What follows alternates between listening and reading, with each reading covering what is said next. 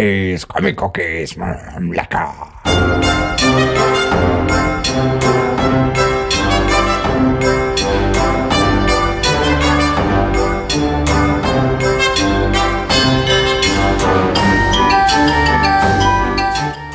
Willkommen bei den Comic Cookies. Ja?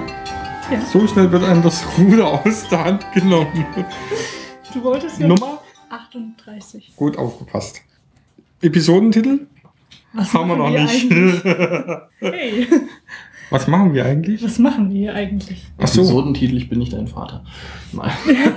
gut. Du auch nicht. Und du auch Ihr nicht. Dein liefert- Vater auch nicht. Ihr liefert noch ein paar. Ja, das Äh, äh, es gibt Kapiteltitel. Mhm. Genau. Erstes Kapitel vor dem Bestellen. Nee, erstes Kapitel ist äh, immer noch ein Drifter. Ja, Tüfter, da hat es schon gesagt. Von? Nick Klein gezeichnet genau. und geschrieben von Evan Brandon. Ah, ja. Genau, und der hat, äh, dieser Band hat am Samstag, heute ist Aufnahmedatum äh, 27. Juli, am Samstag hat er äh, in Kassel seine Premiere gehabt. Und äh, das lässt mich sowas von kalt. Und ähm, die Release-Party hat praktisch stattgefunden und da haben wir den Nick Klein kurz zu einem Interview gebeten. Der Marshall war auch dabei. Da wir hier keinen Videopodcast haben, müssen wir kurz erklären, wir werden ständig versuchen, dem Steffen Kekse unterzujubeln. Ja. Und er wird immer Nein sagen. Hoffen wir. Warum erklären wir dann nach dem Interview? Achso, wir sind jetzt hier in Kassel bei der Release-Party von äh, Drifter von Nick Klein. Hallo Nick, Hallo. freut mich. Danke fürs Kommen. Gerne. Äh, danke, dass du das hier präsentierst. Äh, kurz nochmal dazu, wie ist es zu dem Projekt gekommen? Also äh, Ivan und ich haben ja schon öfter mal kollaboriert, also auch äh, an eigenen Sachen wie Viking, auch für Image vor Jahren oder ähm, bei DC haben wir auch schon mehrere Sachen gemacht. Und äh, nachdem wir halt jahrelang beide verschiedene Sachen, also getrennte Wege gegangen sind, quasi kreativ, sind wir natürlich immer im Kontakt geblieben und haben gesagt, wir wollen halt irgendwann wieder eine eigene Serie machen. Und ähm, da Science Fiction so ein bisschen mein Steckenpferd ist und Ivan auch gerne Science Fiction liest oder schreibt, haben wir gesagt, wir wollen Science Fiction Ding machen. Ähm, und daraufhin hatten wir halt beide Ideen mit an Bord gebracht, die sich, wo sich dann herausgestellt haben im Nachhinein, dass sie ziemlich gut zueinander passen. Und die haben wir dann quasi zusammen verschmolzen und daraus ist dann Drifter entstanden. Okay, über, welche, über welchen Schaffenszeitraum reden wir da? In etwa? Von der ersten Idee bis zur heutigen ersten Ausgabe? Also zwischen der ersten Idee und äh, dem ersten Heft, äh, das fertig war, ist ungefähr, ist ungefähr ein Jahr dazwischen gewesen. Also ich habe dann zu der Zeit noch, äh, wo wir angefangen haben äh, mit Drifter, also im konzeptionellen Bereich, habe ich noch an Captain America gearbeitet und Ivan hat auch noch an Sachen gearbeitet. Und aber zwischen dem ersten Heft und der, der ersten, nicht, nicht zwischen der Idee, die Ideen hatten wir schon vorher, aber zwischen dem ersten Zusammenarbeiten ist ungefähr ein Jahr gewesen. Okay. Äh, jetzt kennt man dich ja hierzulande vorwiegend von den äh, Marvel-Comics, sage ich jetzt mal, die bei, äh, bei Panini erscheinen. Und mit Drifter legst du jetzt ein eigenes Werk vor. Wie ist es mit der Zus äh, zur Zusammenarbeitung mit Crosscult gekommen? Crosscult war damals schon an Viking interessiert, das war ja auch ein eigenes. Ähm, das Problem war, dass wir, äh, Ivan und ich, Viking nie wirklich zu Ende geführt haben. Also es gibt eine erste Staffel und das Ende ist ein Ende, aber es ist quasi auch ein bisschen offen. Und wir hatten halt immer vor, es weiterzumachen. Das hat sich aber nie ergeben. Wird es vielleicht irgendwann noch?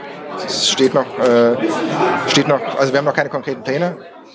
Steht noch ein bisschen in den Sternen, aber da hatte Crosscult schon Interesse gehabt, aber sie wollten halt keine Serie übernehmen, wo sie nicht wissen, dass es auch weitergeht, definitiv. Und ähm, als dann Drifter quasi auf dem Programm stand, und das ist halt eine ongoing, also eine weiterführende Serie, haben die halt gleich äh, quasi ihre Hand in die Luft gestreckt und gesagt, wir möchten das gerne machen. Was jetzt dann hier äh, in dem ersten Band vorliegt, ist die komplette erste Staffel oder wie sehe ich das? Genau, der erste Band ist die komplette erste Staffel, also Heft 1 bis 5. Die zweite Staffel ist gerade in, äh, in Arbeit. Ich bin gerade an Heft Nummer 8. Und ähm, dann gibt es noch einige Staffeln mehr. Also sag mal, um das, also das Ende steht, steht schon fest. Äh, Das Ende war auch eines der ersten Sachen, die wir quasi uns erdacht haben. Und deswegen arbeiten wir quasi rückwärts. Ähm, und um das Ende zu erzählen, was wir geplant haben, was wir erzählen müssen, um die Geschichte abzuschließen, brauchen wir schon allein zwei Staffeln. Das heißt, die Staffel jetzt plus Minimum zwei Staffeln mehr. Je nachdem, wie weit wir es dann äh, noch expandieren wollen, können auch einige Staffeln dazwischen kommen. Aber mindestens die Staffel jetzt plus zwei. Also doch ein recht umfangreiches Projekt soweit. Ja. Also die nächsten, die nächsten paar Jahre sind gesichert. Okay. Vielleicht nochmal zu den Anfängen. Also ich kenne deine erste oder deinen ersten Auftritt mal in Erlangen gesehen äh, bei Panel, meine ich. Da hast du bei Panel noch gezeichnet. Wie, hast, wie kam denn der Sprung dann äh, nach Amerika? Über Freunde oder hast du dich da selbst beworben oder wie lief das? Also genau, ich habe ich hab die ersten veröffentlichten Sachen hier waren bei Panel. Ähm, und das war, während des, das war schon während des Studiums. Also ich habe schon Illustration studiert und ähm, bin dann aber so ein bisschen äh, zwischenzeitlich in die Richtung Concept Art abgedriftet, so Videospiele und sowas. Und habe darüber meinen Freund Marco Djordjevic kennengelernt, der ja auch seines Zeichens bei Marvel länger Exklusivzeichner war. Und ähm, der hat dann ähm, irgendwann halt meine Sachen an, die Mar an den Marvel Talent Koordinator weitergeleitet. Und die haben gesagt, ja, super, gefällt uns. Mach erstmal hier ein paar Titel, also ein, zwei Titelbilder als Probe. Und von da aus ging das dann, hat, ist dann quasi in Anführungszeichen Selbstläufer geworden. Also war natürlich wahrscheinlich auch Glück mit dabei, aber ähm, ich habe dann erst für Star-Lord dann Titelbilder gemacht für die Miniserie, darauf dann 20 Titelbilder für New Warriors und dann ähm, daraufhin hat dann Axel Alonso, der jetzige Chefredakteur bei Marvel, ähm, Ivan, mit dem ich ja Viking und Drifter gemacht habe, quasi mich empfohlen bei einem gemeinsamen Mittagessen von den beiden, woraufhin Ivan mich angeschrieben hat daraufhin Viking und, und so weiter und so weiter. Also Dann auch durch mehrere, du bist dann auch über mehrere Verlage, weil du warst ja mit Marvel, Image, DC hast du gearbeitet. Gab es da irgendwie mal Probleme, dass man sagt, der arbeitet jetzt aber eigentlich exklusiv für uns oder du kannst da frei entscheiden, für welchen Verlag du arbeitest? Also man kann frei entscheiden, solange man keinen Exklusivvertrag unterschreibt und es gibt es, aber habe ich halt nie gehabt. Ähm, ist, ist, dann da kein, ist, ist man da nicht äh, verpflichtet irgendwie. Ähm, das ist ja quasi dann den Verlegen selbst überlassen, was für Projekte sie den Zeichnern anbieten, wenn sie jetzt einen unbedingt haben wollen und dann müssen sie sich halt auch darum bemühen, entweder mehr zu bezahlen als der andere Verlag und das passiert auch durchaus, dass sie sich halt, oder es ist früher oft passiert, dass sie sich halt versucht haben auszub auszuboten. Ähm, ja, aber ansonsten ist es halt einem, wenn man nicht exklusiv ist, ist man quasi, ist es einem selbst überlassen, was man jetzt als nächstes macht. Dann vielen Dank für das kurze Interview und viel Spaß bei der Signierstunde jetzt. Ja, danke fürs Kommen. Gerne. So, das war das Interview. Da ich den Band äh, erst am Samstag gekauft habe, habe ich ihn natürlich noch nicht gelesen, äh, weil ich gestern erstmal was anderes fertig gelesen habe. Und äh, aber der Briefstorm hat ihn schon gelesen auf Englisch, quasi. Das stimmt. Ähm, das, äh, ich hatte mir das äh, vor geraumer Zeit das US-Trade schon mal ähm, vorbestellt und es kam dann auch noch recht günstig, so dass ich das vor dem Podcast noch lesen Mhm. konnte. Ähm, Steffen hat hier natürlich ein auf 222 Exemplare limitierte Vorzugsausgabe mit Druck und allem dabei, die hier auf stattliche 40 Euro kommt. Ähm, Ja gut, wenn da schon so ein Happening stattfindet, dann denke ich immer, da kann man dann auch mal ein bisschen mehr hinlegen. Aber gibt es eine Softcover-Variante oder Nee, eine unlimitierte? eine- Ja, es gibt eine unlimitierte Variante. Also was heißt unlimitiert? Limitiert sind sie letztlich alle, aber nicht streng limitiert und äh, die ist aber auch Hardcover.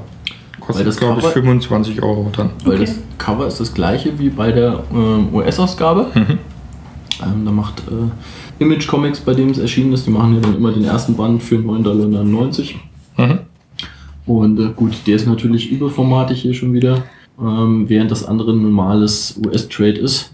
Aber hier kommen natürlich die Zeichnungen von Nick Klein, der da schon sehr, sehr detailliert ist und der koloriert, äh, meine ich auch selber, äh, schon, schon sehr, sehr gut zur Geltung. Wobei er sehr, sehr viele ähm, Details halt eher auf die Person legt, statt so äh, auf die Umgebung. Also ähm, er ist schon sehr, sehr auf die Figuren im Einzelnen bei den Panels gerne mal fixiert. Wenn was Größeres, dann äh, gibt er aber auch gerne mal Gas. Mhm. Ja? Und ähm, worum geht's? Eine Science-Fiction-Story Mhm. über einen Kerl, der mit seinem Raumschiff abstürzt und ist dann äh, auf einem fremden Planeten und ähm, ja, äh, muss sich dann in diese neue Gesellschaft da so ein bisschen einfügen. Ähm, da sind auch Menschen, die da auf diesem Planeten äh, wohnen, die das so ein bisschen kolonisieren und man darf sich das Ganze äh, in so einem Weltraum-Western-Setting so ein bisschen ähm, vorstellen. Ähnlich wie zum Beispiel bei, bei Firefly. Ja. Ähm, dass, Mhm. dass man da äh, Leute hat, die da in irgendwelchen Minen arbeiten und so weiter und so fort. Es gibt aber auch ähm, außerirdische Wesen, beziehungsweise auf diesem Planeten sind es ja eigentlich wahrscheinlich keine Außerirdischen, sondern die, die ursprünglichen Bewohner dieses Planeten. Alle anderen sind außerirdische. Und die ziemlich, ja, ziemlich heftig und brutal sind. Auch die hat er sehr nett umgesetzt. Und ähm, ja, der, der junge Mann muss sich jetzt auf diesem Planeten zurechtfinden, weil ähm, das ist kein Planet, äh, wo man ähm, mit abstürzenden Menschen besonders viel Mitleid hat oder sowas. Also er muss für alles, was er will, muss er natürlich auch arbeiten. Und äh, da gibt es so eine Art Dame, da gibt es eine Dame auf dem Planeten, die ihn da so rettet. Sie ist nicht nur der Sheriff, sie ist auch gleichzeitig äh, der Arzt und äh, noch diverse andere Funktionen, wie es halt im Wilden Westen auch war. Ja, da, da war der, der Gemischtwarenhändler, war auch gern mal der Zahnarzt. Und äh, so ist es halt auch, wenn irgendwo wenig Menschen sind, muss man sich halt arrangieren. Und ähm, ja, ähm, das enthält die ersten fünf US-Hefte. Und ja, ist ein schöner Auftakt, wobei ich äh, komplett verwirrt bin, äh, wo er damit hin will. Also es sind sehr, sehr viele offene Fragen noch in dieser ganzen Geschichte. Woher kommt er, was will er und was ist oft mit diesem Planeten los, die da überhaupt noch keine Beantwortung finden. Also da äh, ist anscheinend noch eine sehr, sehr große Auflösung, Auflösung geplant, Mhm. womit das alles zusammenhängt. Und äh, ja, kann man sehr, sehr gut lesen. Ja, also wie er im Interview verraten hat, steht das Ende fest. Und äh, er hat ja auch gesagt, so zwei bis drei Bände brauche noch, damit, also brauche insgesamt, also von, von, von diesem Format, es ist immer eine Staffel, so hat es bezeichnet. Ähm, mindestens zwei brauche noch, um die Geschichte fertig zu erzählen. Mhm. Aber wenn es so in dem Dreh bleibt, bleibt es ja dann doch recht übersichtlich.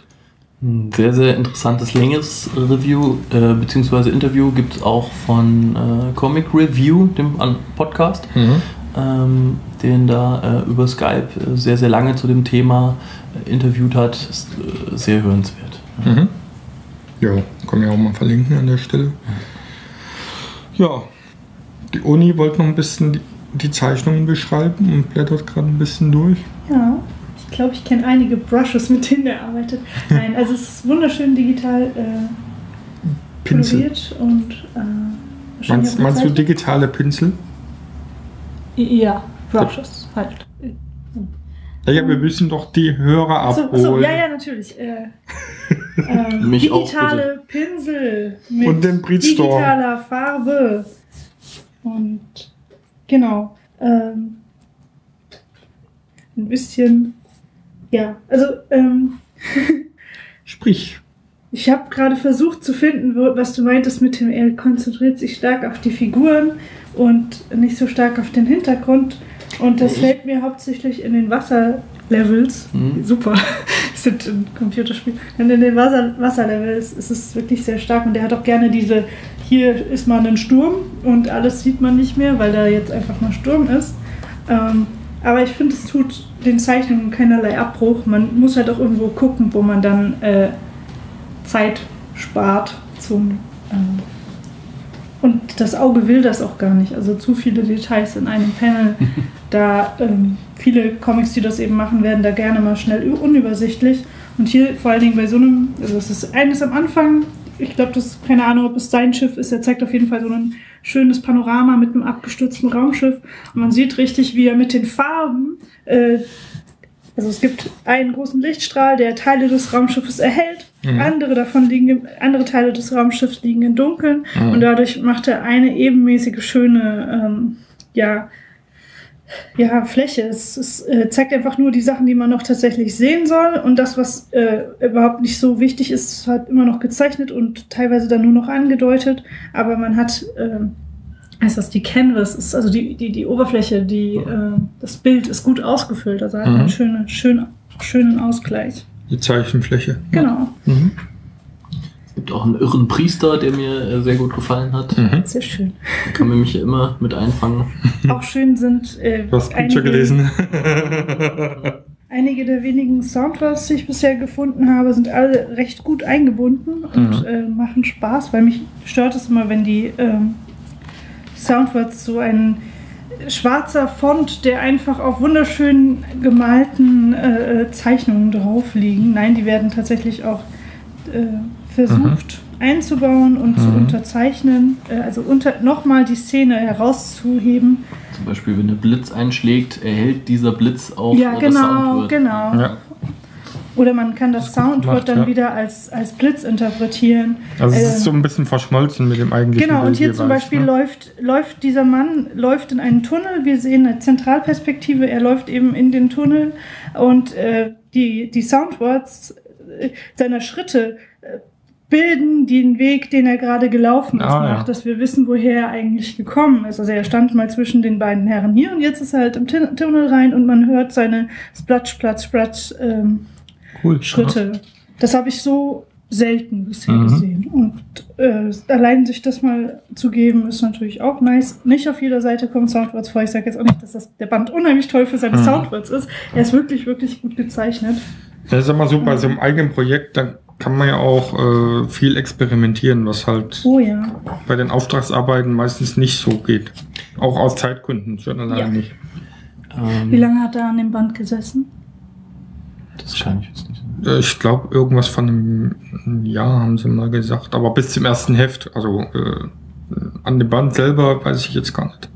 Ähm, die beiden haben ja schon mal zusammengearbeitet. Da gab es eine Serie namens äh, Viking. Mhm. Ah, der habe ich, glaube ich, zumindest mal reingelesen. Und äh, ja, es geht halt hier weiter. Ne? Auch dazu hat er im Interview noch was gesagt. Also von daher. Sehr schön. Ja, Ja, also Hinten schön umgesetzt und ja genau, Artseite hinten mit äh, Alternativen Covern. Ja, und auch ein paar Line-Arts, was auch immer nice ist. Ah, schön, auch Vorzeichnungen. Mhm. So sieht ein Comic aus, bevor er ein Comic wird. Mhm. Genau. Da merkt man auch, dass, ähm, was sich der Mann hier konstruiert und zeichnet wenig ab. Also er hat einfach einen sehr festen, sicheren Stil. Ich hoffe, ich treffe die Analyse jetzt. Wenn nicht, dann gerne hier melden. Ähm, aber man merkt, viele Sachen sind davon einfach nicht. Äh, ich gucke mir jetzt.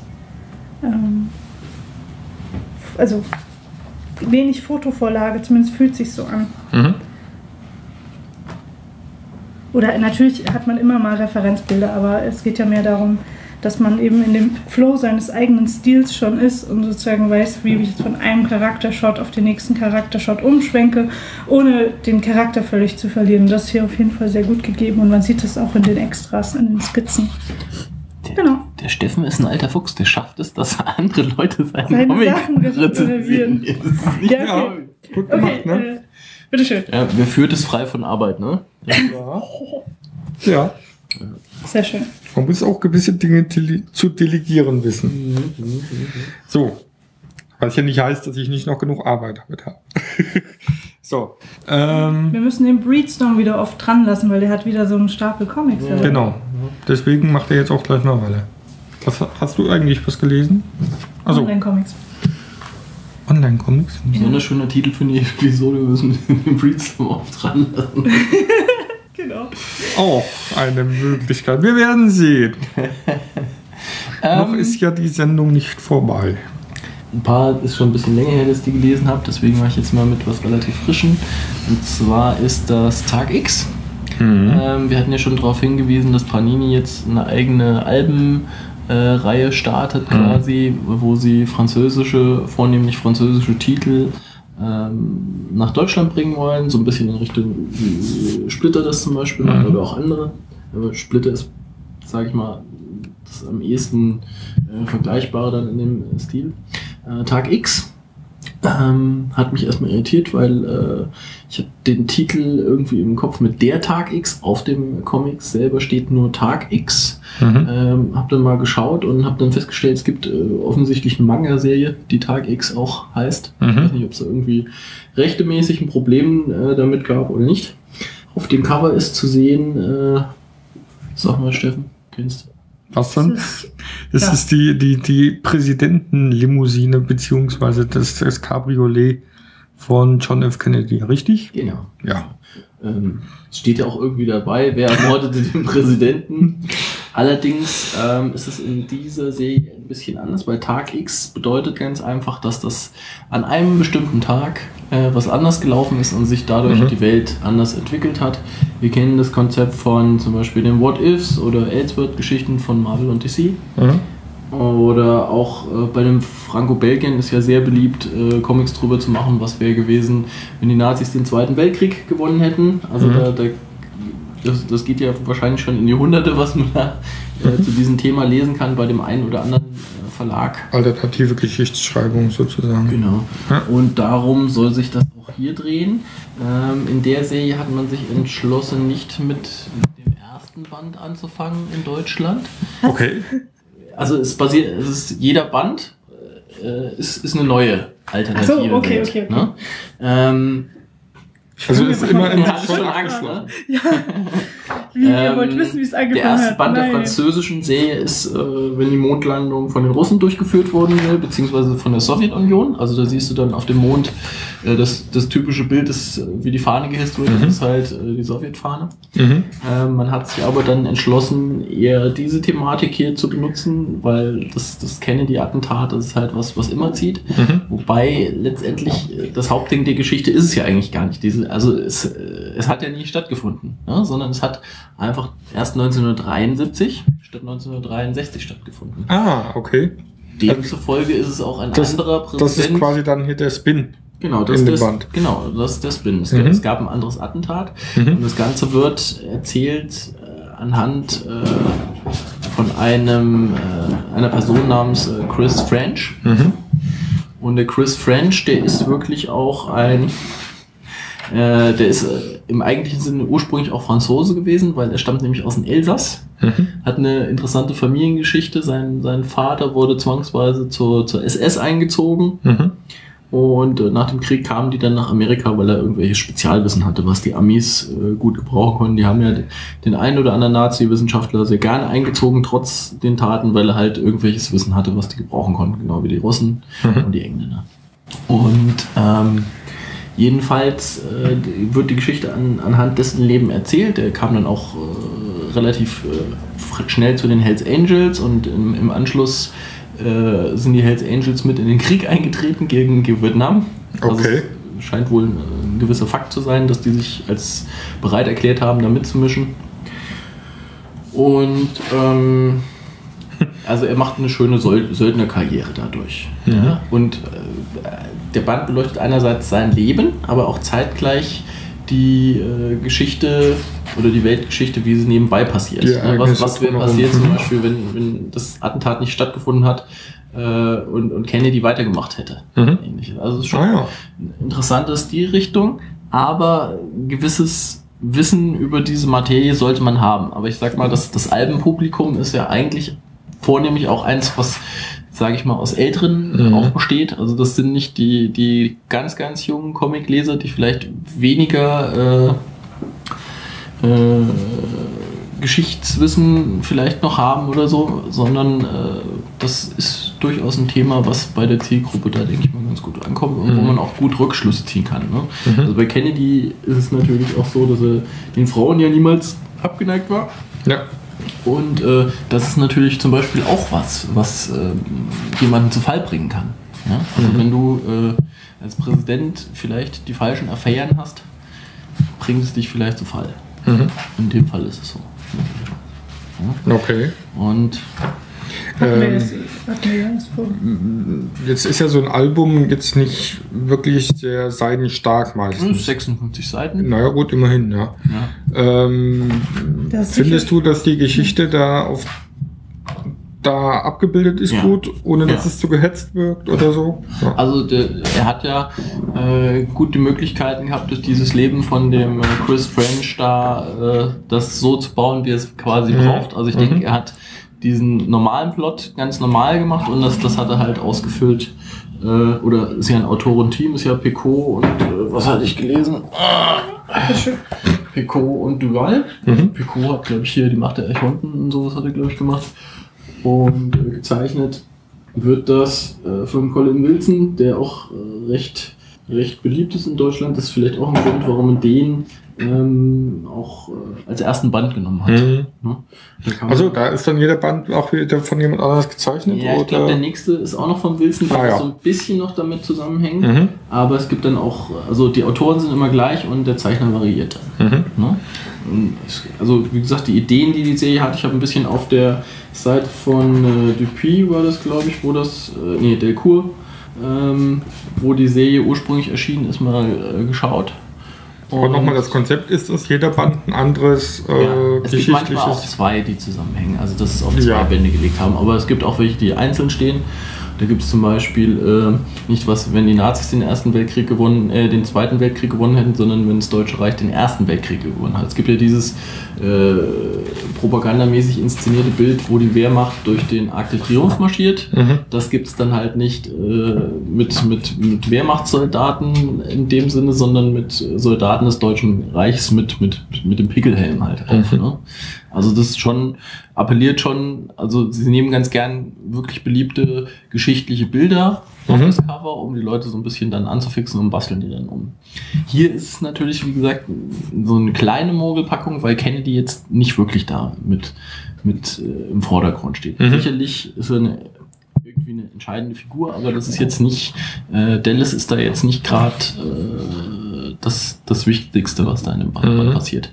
Aber nichtsdestotrotz, äh, mit so einem Konzept kriegt man mich und ähm, es gibt es, das Ganze gibt es für 13,99, was für so ein Band auch ein guter Preis ist. Mhm. Ne? Gibt es auch äh, vergleichbare Produkte, auch von, von dieser guten Machart, also schon hochwertig gemacht, der Einband und so weiter. Ein sehr schönes, dickes Papier. Ähm, da gibt es auch teure Produkte auf dem Markt. Und äh, ja, da bin ich gespannt, was uns da noch in der Albenhistorie von Panini erwarten wird. Mhm. Uni guckt kritisch. Nee, ich dachte nur, ah, schön Federzeichnung, aber ich glaube, es sind keine Federzeichnungen, sondern es ist digital. Ähm, erkennt man vor allen Dingen an den viel zu stark variierenden Linien. Also es ist gut gezeichnet. Punkt. Ähm, nicht, dass da irgendwelche. Ich gucke immer nur gerne.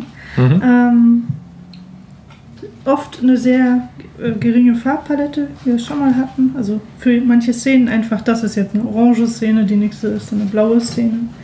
Ähm, manchmal werden Details weggelassen, was ich auch lustig finde. Also es wird dann umrandet, sehr dick und innen drin ist dann einfach hier zum Beispiel bei der Hand. Mhm. Also es ist einfach nur interessant und dann wird es durch die, die Koloration wieder ähm, versucht, wieder das Detail reinzuholen. Das heißt, offensichtlich hat jemand anders koloriert als gezeichnet, oder? ja, Ja, fühlt sich jedenfalls so an. Ähm, Was mir ein bisschen gefehlt hat, ist, äh, wie man das auch von äh, Proto ähnlichen Produkten kennt, ist, dass, dass man so äh, eine Kurzbiografie von den Autoren und den Zeichnern drin hat. ja, ich habe gar nichts gefunden und es Ja. gibt auch keinerlei Zusatzinformationen oder äh, Zeichnungen hinten Das, drin. das wäre halt auch noch gut gewesen. Äh, ich glaube, Splitter macht das immer, dass sie Mhm. reinschreiben, Zumindest ähm, ganz kurz von, ja. Was haben wir, was haben andere oder was haben wir dazu von demselben Zeichner noch Mhm. auf dem Markt. Und das finde ich immer eine schöne Zusatz. Klar kann man sich das äh, Wissen auch relativ schnell im Internet holen, aber trotzdem, Ja. das, das wäre was, was das wirklich Das ist halt nochmal so ein hundertprozentig. kleiner Fanservice, der Ja. dann dabei ist. Ja. Also das wäre so eine Anregung. Mhm. Äh, aber sonst ist das sehr, sehr gut und äh, da bin ich gute Hoffnung, dass da noch einiges Feines von Panini kommen Mhm. wird. Ja, ja. also sieht gut aus. Mhm. Ist gut gezeichnet, solide. Viele Helden, die im Schatten stehen, also wo man dann die Außenlinien sieht, aber das Gesicht ist abgedunkelt. Mhm. Ja, also ich bin. Achso, was? Das weitermachen? Okay. Äh, noch einmal, gut. Ähm, ich bin heute ein bisschen bei den Ameisen. Nein. Die Thematik, äh, naja gut, die drin, Gibt, ihn schon? Ist er ja, schon ja, draußen? der drängt sich quasi auf, weil der Film ist gerade draußen. Wann ist er Letzten denn? Donnerstag gestartet. Und wie kommt er an? Weiß ich jetzt nicht. Also ich habe jetzt noch keine großen Stimmen gehört. Ich weiß nur, dass es im Abspann was für Captain America Fans gibt. Das ist Ich, das Einzige, was ich von diesem Film Mhm. weiß. ich werde ihn mir morgen angucken und äh, gegebenenfalls mit dem Matthias auch mal wieder drüber schnacken. Äh, wenn das geklappt hat, hört ihr das am Ende dieses Podcasts noch. Genau. ähm, was ich mir dann diesbezüglich mal bei Panini äh, besorgt habe, ist Ant-Man äh, Ausgabe 1, also der, der Neustart der Serie quasi im, unter dem Marvel Now Banner geschehen. Ne? Mhm. Und ähm, da geht es praktisch um einen, um einen Neuanfang von äh, Scott Lang heißt er, ne? Und ähm, genau, er bekommt halt so, wie es ursprünglich schon mal war, fast von seinem ursprünglichen Chef, äh, praktisch dem Tony Stark, ein weiteres Stellenangebot mehr oder weniger zugeschleust und kann sich da auch behaupten gegen andere Mitbewerber, flüchtet aber dann doch, äh, ich glaube nach Miami war es, ne? Moment. Ich meine nach Miami, Blätter, Blätter sind Palmen drauf. um ähm, praktisch seiner Tochter hinterher zu reisen, weil seine Ex-Frau beschlossen hat, sie will halt das Kind rausnehmen aus der Beziehung, mehr oder weniger, um, um seinen schlechten Einfluss nicht auf das Kind geltend zu machen. Und ähm, ja, bitte? Verrückt. Ja, so ist das halt manchmal, ja. Und sie flüchtet halt quasi mit dem Kind und äh, er hat auch nur Besuchsrecht, nicht Miterziehungsrecht. Und ähm, also, was denkt er sich? Ich pfeife auf das großzügig Stellenangebot, das wirklich sehr großzügig ist von Tony Stark und äh, reise halt nach äh, Miami, um überhaupt keine Perspektive da erstmal zu haben. Und äh, ja, so entwickelt sich die Geschichte, dass er praktisch dort vor Ort dann auch bei einer Bank vorspricht, um dort ein eigenes Unternehmen äh, zu gründen, ein Sicherheitsunternehmen, was quasi befeuert durch die, durch die Idee entsteht. Du lachst, du kannst gleich Ja. erzählen, warum du lachst. Und ähm, was, wobei ich jetzt, dass durch die Idee entsteht praktisch, dass er eigentlich bei Tony Stark hätte Sicherheitschef werden können quasi. Und also versucht ein eigenes Unternehmen zu gründen und ähm, über verschiedene Umstände schafft er es auch, sich gegenüber dieser Bank zu beweisen und da halt praktisch sein mm, Unternehmen ja zu finanzieren, aufzubauen. Äh, das ist so im, im Groben die, die Handlung umrissen. Da gibt es natürlich noch ein paar schöne kleine äh, Ideen, die mit drin sind, äh, die ich jetzt an der Stelle nicht verrate. Und als besonderen Bonus gab es, oder als, was heißt als besonderen Bonus, weiß ich nicht, ob man so werden kann, aber als schönen Fanservice fand ich halt, äh, jetzt zum Start des Kinofilms ist dann noch drin die Originalgeschichte von damals, äh, wie, wie Scott Lang praktisch zu ähm, Ant-Man. Ant-Man. Wie heißt der Comic nochmal? Ant-Man geworden ist. Äh, genau. Das wurde seinerzeit von John Byrne geschrieben und von. Jetzt muss ich gerade nochmal reinblättern. Ach nee, John Byrne hat es mitgezeichnet, so rum. John Byrne und Bob Layton haben es gezeichnet. Also schon ziemlich alt dann. Muss ich mal sagen. Ja, 1979. Oh, mein Geburtsjahr. Oh. Na, Ja, das nichts heißt. Und äh, also es, man kann dann deutliche Parallelen entdecken zwischen den beiden Neuinterpretationen, diesen beiden Neustarts quasi. Aber jede steht auch ein bisschen für sich, also es passt schon gut zusammen. Natürlich wird die Ursprungsgeschichte auch äh, im vorderen Teil immer mal wieder erwähnt und geflashbackt, aber nicht so ausführlich, wie es dann halt im hinteren Teil ist. Und so als Kurzzusammenfassung ist das auch okay. Wer kennt die Geschichte noch von euch? Hat die noch einer gelesen? Nee. welche? Die da? Den, Ant-Man. ja. Oh, Uni, Nee. erzähl mal was zu Ant-Man. nee. Das war immer das, wo ich am meisten Abstand von gehalten habe Echt? als Kind. Also ich muss ganz ehrlich sagen, ich kenne ich kann, ich kenn von Ant-Man auch überhaupt nichts bisher. Mhm. Aber ich habe mich durch den Band super unterhalten gefühlt. Okay. Und durch den nächsten, über den ich nachher noch spreche, äh, auch. Also noch, noch mehr eigentlich. Also von daher ähm, ist jetzt auf jeden Fall was, was ich nochmal weiterlese.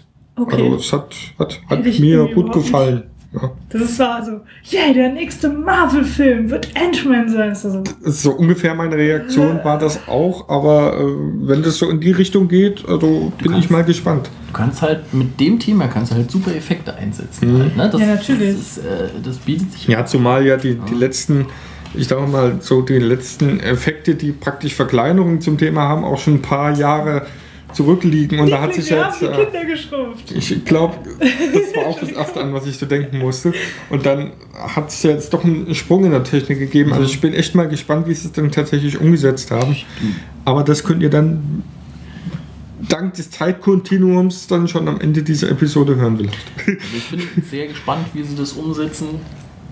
Beziehungsweise wie das in, in Deutschland äh, aufgenommen wird, weil aus genau dem Ding, was ihr gesagt habt. Ihr habt dazu keinen Bezug. Ich bin jetzt ein bisschen älter. Ich bin mal gespannt, wie in Deutschland aufgenommen wird, dass du immer klopfst. und kam, und kam äh, so früher doch in den Genuss des einen oder anderen Hefts. Ich glaube, in der Zweitserie bei Condor äh, hat sich das mal angeboten und das fand Mhm. ich auch nicht uninteressant. Und bei äh, den, den Rächern war eine Genau. Zeit lang auch präsent. Er war ne? in den Rächern, deswegen habe ich ihn überhaupt, kannte ich ihn überhaupt. Und er war immer so dieser, ah, jetzt ist der dran, Blätter, Blätter, Mhm. Blätter. Das Ich kann- weiß nicht, Es kam auch immer die Thematik mit seiner Tochter ganz gerne. Mhm. Also er war dann jemand, der auch da schon äh, ein nerviges Kind ich hatte. glaube, das will man einfach als Kind nicht lesen. Also das ist wirklich was aus der Zeit, da war ich vielleicht 13 oder so. Mhm.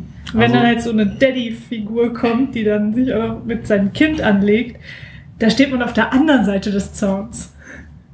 Wir hatten es ja neulich bei, äh, äh, bei einer äh, älteren Episode, ich glaube vor München, die war das. Äh, hatten wir es doch mit, mit äh, den, den, den Spin-offs aus Guardians of the Galaxy, wo ich auch gesagt habe, den einen, den kann man so für sich alleine ganz gut lesen. Und, und der andere, äh, Star-Lord, da Mhm. war so ein bisschen ins kalte Wasser geschmissen und so. Ähm, das Gefühl hatte ich jetzt hier wiederum nicht. Also Okay, das das heißt, äh, das ist ein guter Einstiegscomic. Oder auch das letzte Mal, als wir über den, den Spider-Man 2099, da war es ja noch schlimmer. Ja. Genau. Da war es jetzt so, äh, da, da habe ich mich überhaupt nicht zurechtgefunden. Und hier äh, wird einem viel erklärt über Flashbacks und, und das, was man wissen muss, das kriegt man erzählt, so Stück für Stück. Und ähm, ist halt auch Nick Spencer hat es geschrieben, ähm, der ja jetzt Mhm. äh, auch einer der aufkommenden heißen Autoren, sage ich mal, ist. Von zum Beispiel Mor- Morning Glories hat er gemacht. Und äh, das äh, denke ich mir schon, dass das handwerklich sehr, sehr gut ist. Ja, also Ja. den, den würde ich auch mal leihen. also es holt, es holt einen ab und äh, ich finde, das ist ganz gut gelungen. Also ich finde als, als Einstiegspunkt für die, die jetzt auch durch den Film angefixt werden, äh, ein durchaus gutes Comic. Du hast ja jetzt noch einen Ant-Man hier rumliegen. Ja, zu dem wollte ich aber eigentlich ein bisschen später nochmal kommen.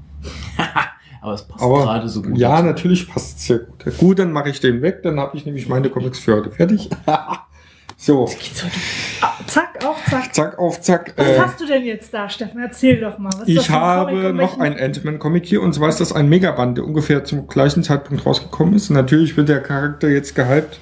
Das ist ja logisch, wenn da ein Film ins Kino kommt. Und diese, diese Band ähm, druckt eine Geschichte ab, die spielt in Teilen vor dem Civil War und äh, mittendrin zwischen den Civil War und dem äh, World War Hulk, auch über den World War Hulk in, hinweg. So in diesem Zeitraum ist es anzusiedeln. Und das war eine zwölfteilige Maxi-Serie, kann man dann ja schon sagen, über einen ganz neuen Ant- Ant-Man, äh, der ähm, zu dieser Zeit war wohl Scott Lang verstorben. Das ist auch noch sowas, was man vielleicht so am Rande nur wissen muss. Äh, wie jetzt genau und sowas hat mich in dem Moment auch gar nicht interessiert. Ne? Er war halt da wieder da. Und in dieser Zwischenzeit hat man natürlich einen neuen Ant-Man gesucht und hat halt dann einen äh, Shield-Agenten namens Eric O'Grady, meine ich, zu Ant-Man Ja. gemacht. Und das Eric aber über eine recht unkonventionelle Art und Weise. Also ähnliche äh, Parallelen zu ähm, Scott Lang gibt es insofern, dass der Anzug gestohlen wurde. Aber das war es dann auch schon eigentlich soweit, weil äh, das Wie ist halt völlig abgedreht. Also es ist, ähm, man muss sich so vorstellen, der Eric O'Grady und ein weiterer Shield-Agent sind relativ gut befreundet. Und ähm, ja, bitte. Sie guckt wie so, ein- wie so, ein- wie so ein Hühnchen hin und her. Den Ähm, solltest du auch mal lesen. Der ist ja, der ist wirklich gut. Und ähm, ja, wie war denn das? Und dann sind die praktisch äh, abkommandiert, Hank Pym zu bewachen, der halt just in diesem Moment an diesem neuen Ant-Man-Anzug schraubt. Und äh, Der optisch auch äh, ganz anders aussieht. der optisch anders aussieht, genau. Und also mehr so einen Helm hat als eine Maske. Also gut, das andere ist ja auch ein Helm, aber es ist halt so, ein- so, ein, so ein Vollhelm, ne? der das gesamte Ge- Gesicht abdeckt.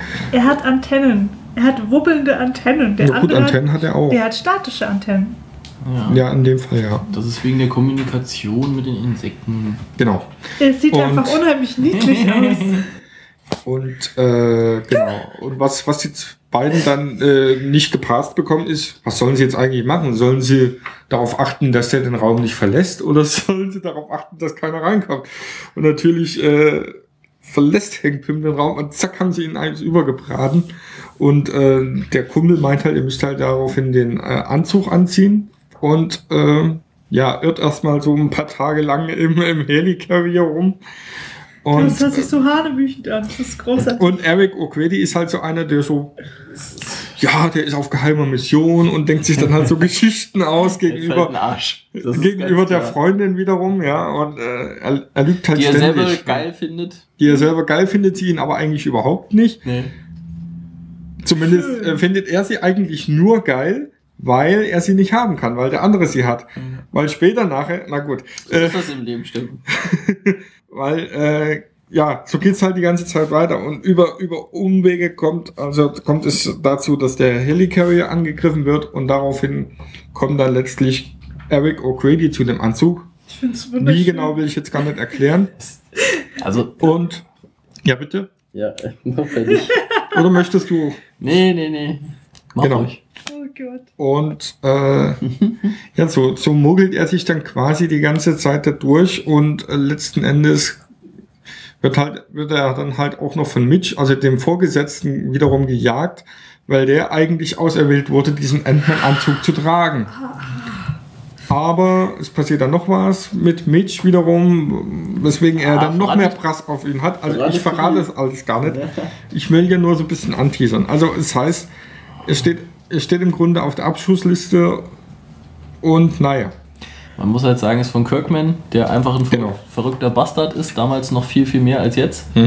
Ähm, wie zum Beispiel bei Invincible kann man es ja hervorragend sehen und zu dieser Phase, wo das mit Invincible so richtig ging, hat er Mhm. auch das gemacht.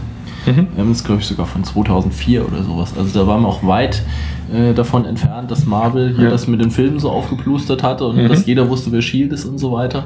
Ja. Und da ist das in Deutschland zwar, weiß ich noch damals im Forum äh, von denen, die es auf US dann gelesen hatten, das gibt es nämlich auch als, als Digest, also etwas verkleinert, äh, sehr gefeiert worden, unter anderem auch von mir.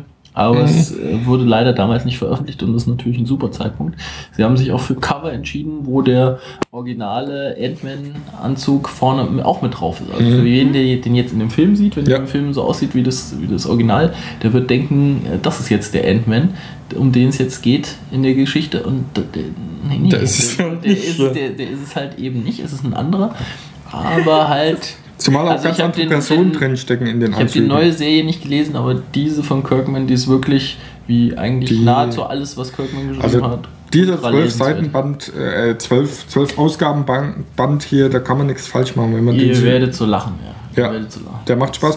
Und dazu passen natürlich auch die äh, Zeichnungen von na, Phil Hester, heißt der, glaube ich, oder? Nicht ja, nur, doch. Nicht nur. Nicht nur, aber äh, Der hat Stil mal, geprägt. den Großteil. Ja, der hat Den Großteil, geprägt, den. Mammutanteil hat er ja schon. Es bricht dann zwischendrin mal ein bisschen auf, was mich wiederum ein bisschen gestört hat, aber es hat zur Story gepasst. Und ähm, ja, und den mochte ich ja damals schon, als er die äh, Storyline von äh, na, Kevin Smith mit äh, Green Arrow geschrieben, äh, gezeichnet hat, vielmehr. Ja, Mhm. genau. Ja, so, so cartoonig schon. Es ist ein lockerer Stil, sagen wir mal so. Aber ja. Also passt ist ja auch zu halt, dem- ähm, Zu dem lustigen, also es ist lustig und bösartig, aber es ist nicht so, wie soll ich das sagen, so abgedreht, wie man es zum Beispiel von äh, Deadpool zum Beispiel kennt. Genau. Ne? Das, äh, Ja. es ist immer noch real irgendwie, also es passt in die normale Marvel-Welt ist halt rein. so Shit Happens mäßig, Ja. irgendwie so. und Und- ein Arschloch Ja. bei Shield quasi. Ja, ja, genau. Also das ist sehr, sehr lesenswert. Welchen fandest du von den beiden besser? Wenn Äh, den äh, Ant-Man, genau, also den, den äh, Megaband. Le Leute. Genau. den Megaband mit dem Nachdruck dieser zwölf Ausgaben fand ich besser. Was aber nicht heißt, dass der andere nicht gut ist. Hat halt mit dem Film Ja. relativ wenig dann zu tun. ne? Logisch, ist ja. Nicht, Also, ist eine das ist Figur. eine völlig andere Figur, eine eigenständige Geschichte kann man so für sich lesen und das, was man an, an Backup-Infos noch braucht, wird dann so ein bisschen vermittelt zwischendrin. Aber ja, Es, es ist halt schon, wenn ich nur, wie gesagt, nach zwölf Heften ist die Serie dann zu Ende gewesen, weil sie eingestellt wurde, weil sie dann halt nicht mehr äh, sehr erfolgreich war. Wo war das Cover davon? Und schon das Cover allein, das ist, das ist schon so geil. da ist er quasi drauf Mhm. und kämpft mit, mit den ganzen anderen Figuren, deren Heftserien eingestellt wurden und sagt Ach so, ah, gecancelt, ich werde niemals so sein wie ihr, nein, lass mich in Ruhe. So, ne? Kämpft hier, da steht man zum Beispiel mit äh, dem Ding oder, oder Frogman oder Paladin, die da im Hintergrund sind, alles, die mal wirklich eine eigene Serie hatten, aber die Mhm. halt dann irgendwann gecancelt wurde. wobei man dazu sagen muss, also es ist ein, ist, ist, ist ein, bleib, White Tiger. ein weitestgehend offenes Ende. Äh, gecancelt. In sich abgeschlossen, natürlich, aber es bleibt ein weitestgehend offenes Ende und er ist ja dann auch nochmal aufgetaucht später in, Ja, er kam, in er Folge kam der Zeit. vor, also in verschiedenen Rollen auch wieder und also immer als Ant-Man irgendwie, aber es ähm, ist halt, wenn Kirkman es nicht schreibt, ist es halt nicht genau. Also das kann man so, so wie es ist, nehmen und hat Mhm. seinen Spaß dran und das ist Ja. auch in sich stimmig und weitestgehend abgeschlossen. Wie gesagt, es lässt zwar Fenster nach hinten offen, aber ich glaube, das wurde dann auch nicht mehr erreicht. Nee. Also, Kann, kann ich mir zumindest nicht so vorstellen. Mhm. Wie das oftmals bei so Titeln ist. Ja. Es folgt die Keksanalyse. Oh Gott. Ja, wir haben zwei Packungen Cookies da. Das eine sind die Ja. Hausmarken Ja, wir Cookies. sagen keine Namen, aber gut, Rewe, ja, okay. und das andere ist eine Marken, nein, eine Markenkeks. Recht. Das war jetzt übrigens kein Keks. Jetzt haben wir den Albern das Probe schmecken lassen und es sind keinerlei Unterschiede rausgekommen. Das heißt, man kann immer die günstigeren Cookies Die kaufen. Weisheit des Tages ist, es gibt keine Unterschiede. Das ist einfach Zucker. So, wir hören den Steffen schmatzen und ich mache jetzt, stelle jetzt mal was vor. Das ist meine erste Vorstellung heute. Ich durfte zwar schon Comics berichten, aber. Und zwar haue ich volle Kanne in die Shoujo-Ecke.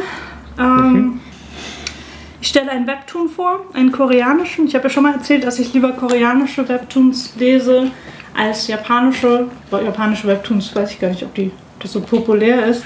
Ähm, und zwar Cherry Boy That Girl.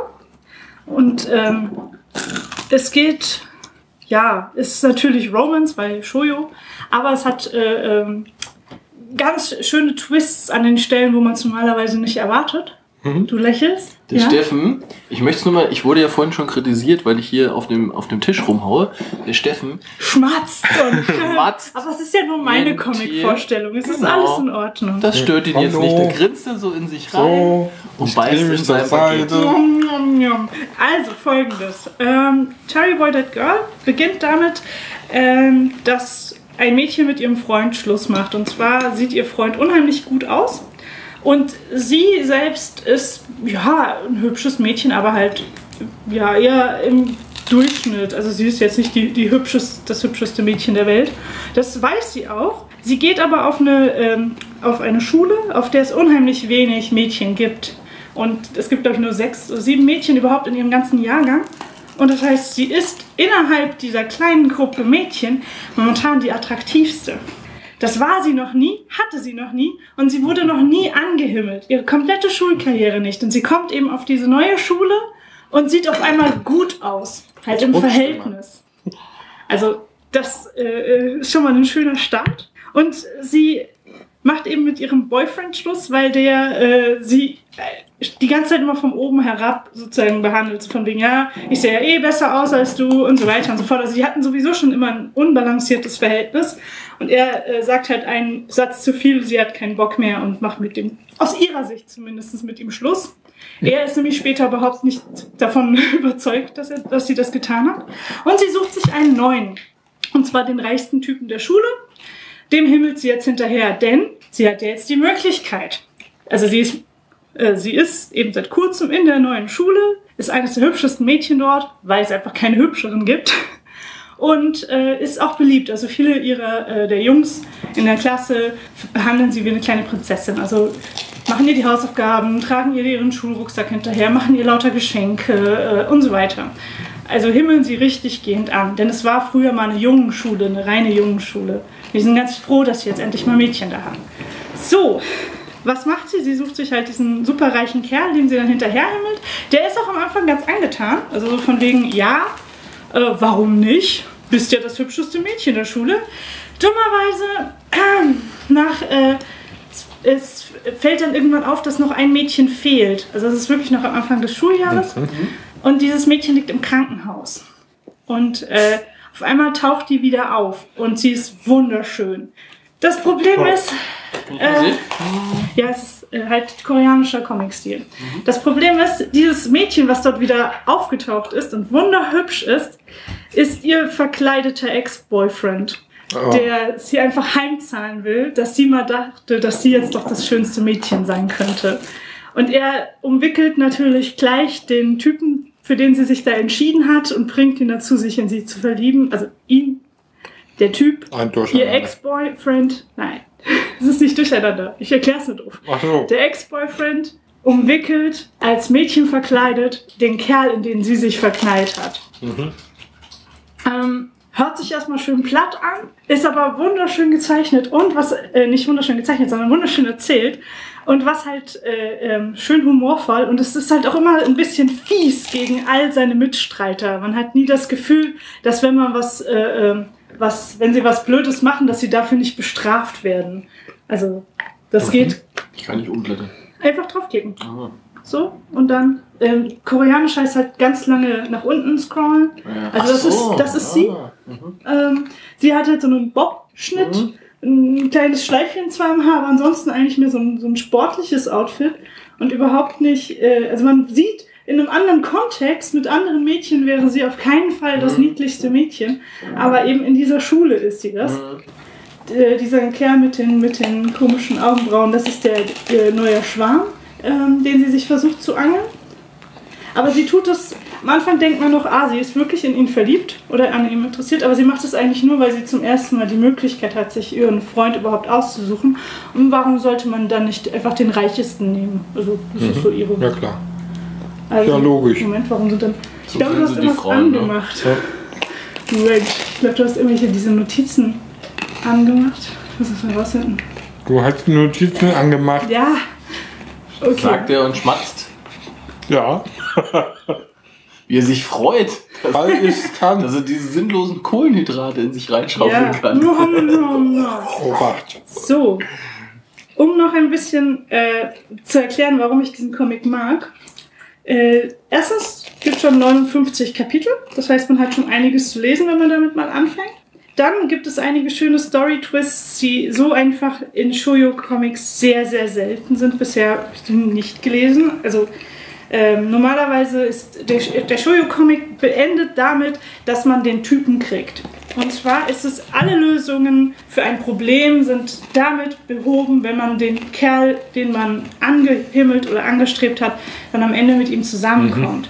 Das ist immer die Lösung für alles. Also in vielen, vielen Shoujo-Comics wirklich so, oh nein, äh, meine Eltern hassen mich, äh, ich, äh, was weiß ich, sitze bald auf der Straße, was auch immer, irgendwelche Horrorsachen oder mein, keine Ahnung, meine Oma ist gestorben und dann Ich am bin Ende... arbeitslos. Ja, am Ende kommst du Dieses Monster bedroht mich. am Ende kommst du eben dann mit dem Kerl zusammen und all diese Probleme sind plötzlich gelöst. Das ist hier nicht so. Ähm, es gibt, an einer Stelle hat sie die Möglichkeit, also Ist sie, es schon durch oder? nee, sie ist, es ist aber schon kurz vor Schluss. Also, ähm, wie gesagt, 59 Kapitel bereits schon und äh, wir sind schon sehr nah an der Auflösung. Es kommt wöchentlich ein neues Kapitel, das heißt, wir sind wirklich, wirklich nah an der Auflösung. Ähm, ich habe auch hoffe nicht, dass sie es versuchen, weil es sehr gut angekommen ist, äh, dass sie es in die Länge ziehen, weil das wäre sehr, sehr schade. Ähm, ich kann ja schon einen kleinen Twist ähm, mit einbringen, weil es nicht so tragisch ist. Der passiert recht schnell am Anfang. Sie ist ja wirklich auf diese Schule, wird angehimmelt. Es kommt eben ihr Freund, Ex-Freund als Mädchen verkleidet auf diese Schule und zieht natürlich alle Blicke auf sich, weil er ein viel, viel schöneres Mädchen darstellt als sie. und äh, bringt dann die, das komplette Schülerschaft dann gegen sie auf. Ähm, weil sie, sie sie natürlich sehr ausgenutzt hat, dass sie mal hübsch war. Also mal endlich die Hübsche war. Und ähm, ja, sie äh, hat dann auf einmal einen sehr, sehr schlechten Stand in der Schule und muss sich dann auch ein bisschen umorientieren. So, was ich toll finde, es gibt eben diesen, diesen einen Moment, diesen Shoujo-Moment, den du halt hast mit diesem, du, äh, Mädchen, ich bin ein starker Kerl, den du magst. Ich komm, werde jetzt mit dir zusammenkommen. Und sie sagt nein. Und zwar nicht aus irgendwelchen Dramagründen, sondern einfach nur, weil sie meint, sie, kann, äh, sie fühlt sich einfach noch nicht bereit dazu. Also noch nicht reif genug, um jetzt wieder eine Beziehung anzufangen. Und das habe ich einfach noch sehr, sehr selten in Shoujo-Mangas gelesen. Normalerweise ist es wirklich das, dieser Moment ist das, wo die meisten Comics darauf hinarbeiten und der löst dann den komplette Konflikt auf. Ah, der Junge ist doch an dem Mädchen interessiert, sie kommen jetzt zusammen, alles ist wunderbar, so enden wir und äh, so endet es hier eben nicht. Das ist, ähm, sondern nimmt, Vermutlich. nimmt dann die Geschichte eben weiter darüber hinaus. Also, Mhm. ähm, wo man denkt, äh, dass das jetzt das Ende wäre, ist das eigentlich eher der Anfang der Geschichte. Also, wie sie sich selbst aus diesem Konflikt, den sie da selbst kreiert hat, also dass sie einfach äh, äh, Mhm. Leute gegen sich aufgebracht hat, ähm, Freundinnen hintergangen hat, Leute verraten hat und auch, äh, äh, ja, sie ist eigentlich ein sehr unschuldiges, also äh, Mindset ein sehr unschuldiges Mädchen, aber sie hat sich da einfach in Sachen reingesteigert, die äh, ihr über den Kopf gewachsen sind. Und wie sie sich da erstmal wieder rausrettet, um dann sozusagen mit einer Clean Page dann mit diesem Jungen zusammenzukommen oder auch nicht. Ähm, das ist halt eine schöne Geschichte. Ich werde den Link posten. Ähm, ist natürlich nur erstmal eine koreanische Seite. Ich werde auch noch dazu posten, wo man es dann übersetzt lesen kann. Äh, ist, da Webcomic ist es natürlich frei, äh, frei zugänglich. Und ja. Genau. Also, mal wieder was Manga. Ich muss ja diesen, ich will noch einen Manga schieben. Mach mal, mach mal den Titel kurz. Cherry Boy That Girl. Ja, okay. Bin mir aber recht sicher, dass es wahrscheinlich im Koreanischen anders heißt. Aber schön. Also, wunderschöne Panels, wie man sieht. Also sie ist auch immer sehr attraktiv gezeichnet. Das ist sie. Gut. Ja. Ja, also der Briefsturm wäre auch ein hübscheres Mädchen als ich. Oh. Von dir wissen wir ja, Steffen, wie das aussieht, wenn du dich als Mädchen verkleidest. Du weißt das. ja. Schwester Stefanie. So, weiter. So, dann, dann musst du wieder Breedstorm, sonst. Äh, Ja, wir Moment, nicht ich, durch? ich habe mich gerade innerlich, äh, Sonst verkleide ich mich wieder. Innerlich bekotzt und äh, ich muss mich erst jetzt. du hast dich innerlich bekotzt. Das ist ja Wenn herrlich. ich daran denke, Wenig, jetzt bitte nicht auf mein Sofa, Ja. danke. Auch Innerlich. dies ist ein, Innerlich auf nicht, nicht, auch nicht auf mein Sofa. auch, ist, auch dies ist ein möglicher Episodentitel. Aber gut, weiter. Nein. Was innerlich bekotzt oder, Innerlich oder bekotzt. Schwester Stefanie? Schwester Ah. Stefanie hatten wir schon mal. Hatten wir schon mal? schon mal? Hat man irgendwie schon mal, ja. Ehrlich? So, ich habe mir natürlich auch. Aber nicht als Titel. Aber das tut ja auch nichts zur Sache so. Habe jetzt mal wieder Zu was. einem halb ernsteren Thema. Lustig. Ja, ernst würde ich das nicht. Also ich habe äh, den zweiten Band äh, vom Schattenspringer von Daniela Schreiter in der Hand. Ähm, den ersten Band hatten wir schon ausgiebigst vorgestellt. Und zwar ähm, ist es so, dass die äh, Autorin Daniela Schreiter, die das Ganze auch zeichnet, ähm, Asperger-Autistin ist.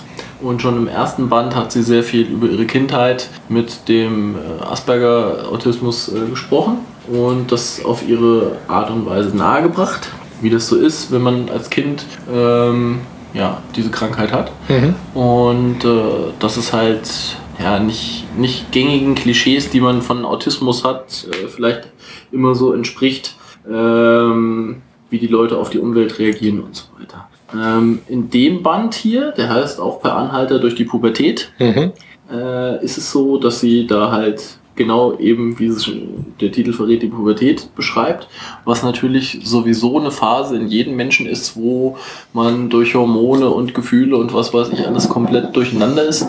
Wenn man natürlich dann noch äh, Autismus hat, ist das Ganze nochmal, potenziert sich das Ganze nochmal. Mhm. Ja? Also schon im ersten Band haben wir erfahren, dass äh, viele Sachen einfach auf sie ähm, ja, dass, äh, dass es da so ist, dass der natürliche Filter im Kopf fehlt.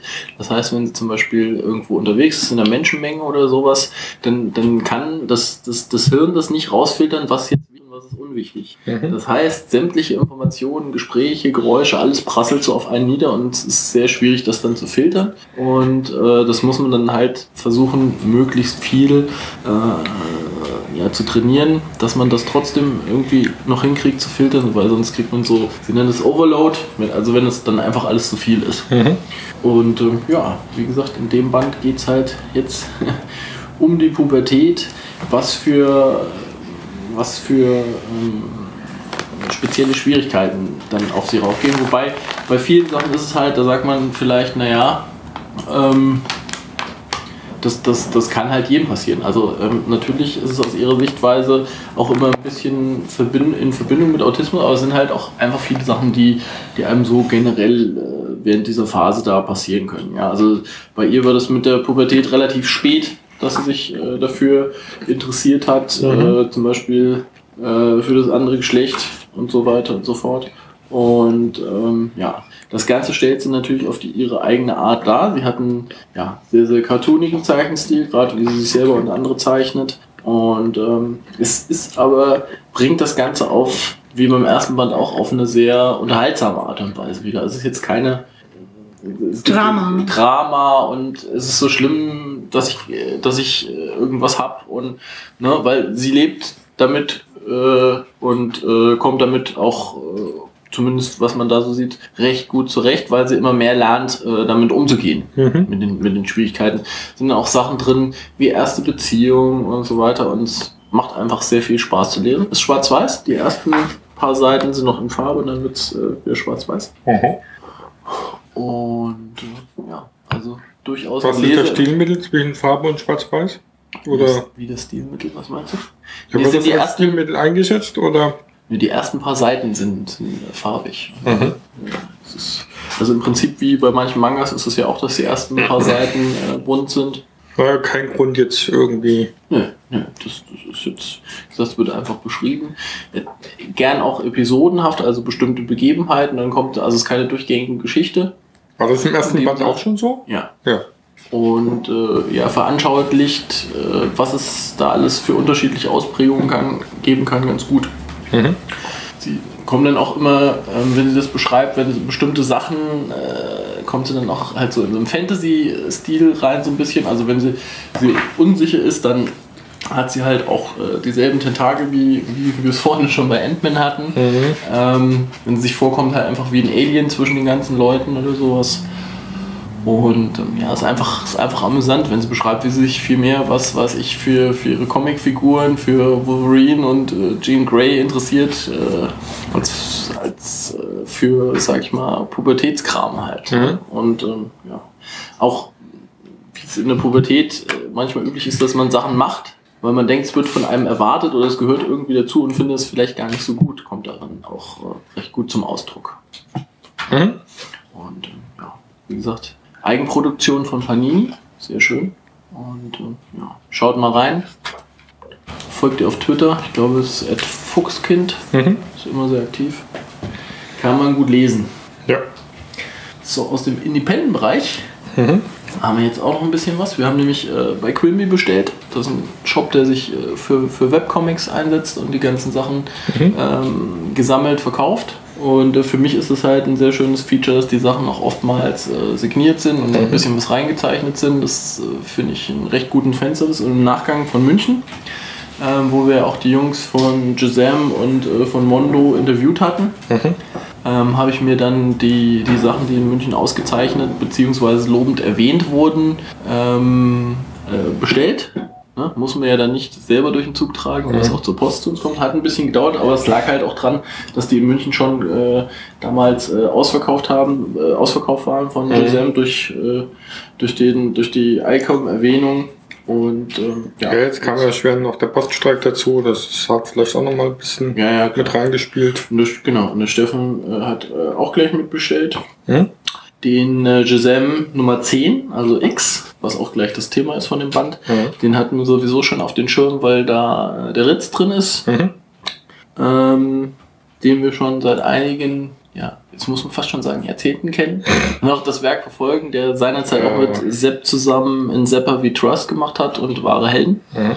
Und auch der war jetzt in dem Band drin. Mhm. Und mehr wusste ich vor München noch nicht von dem Band, aber die Gespräche mit, äh, mit den Jungs haben mich halt neugierig gemacht und da habe ich mir diesen Band geholt. Wie immer bei Anthologien ist natürlich immer was dabei, was man richtig, richtig gut findet und auch was, wo sagt, richtig, richtig schlecht finde. ja, was, was, was halt nicht so einem gefällt, aber das ist halt, ja, das ist halt die Natur der Sache.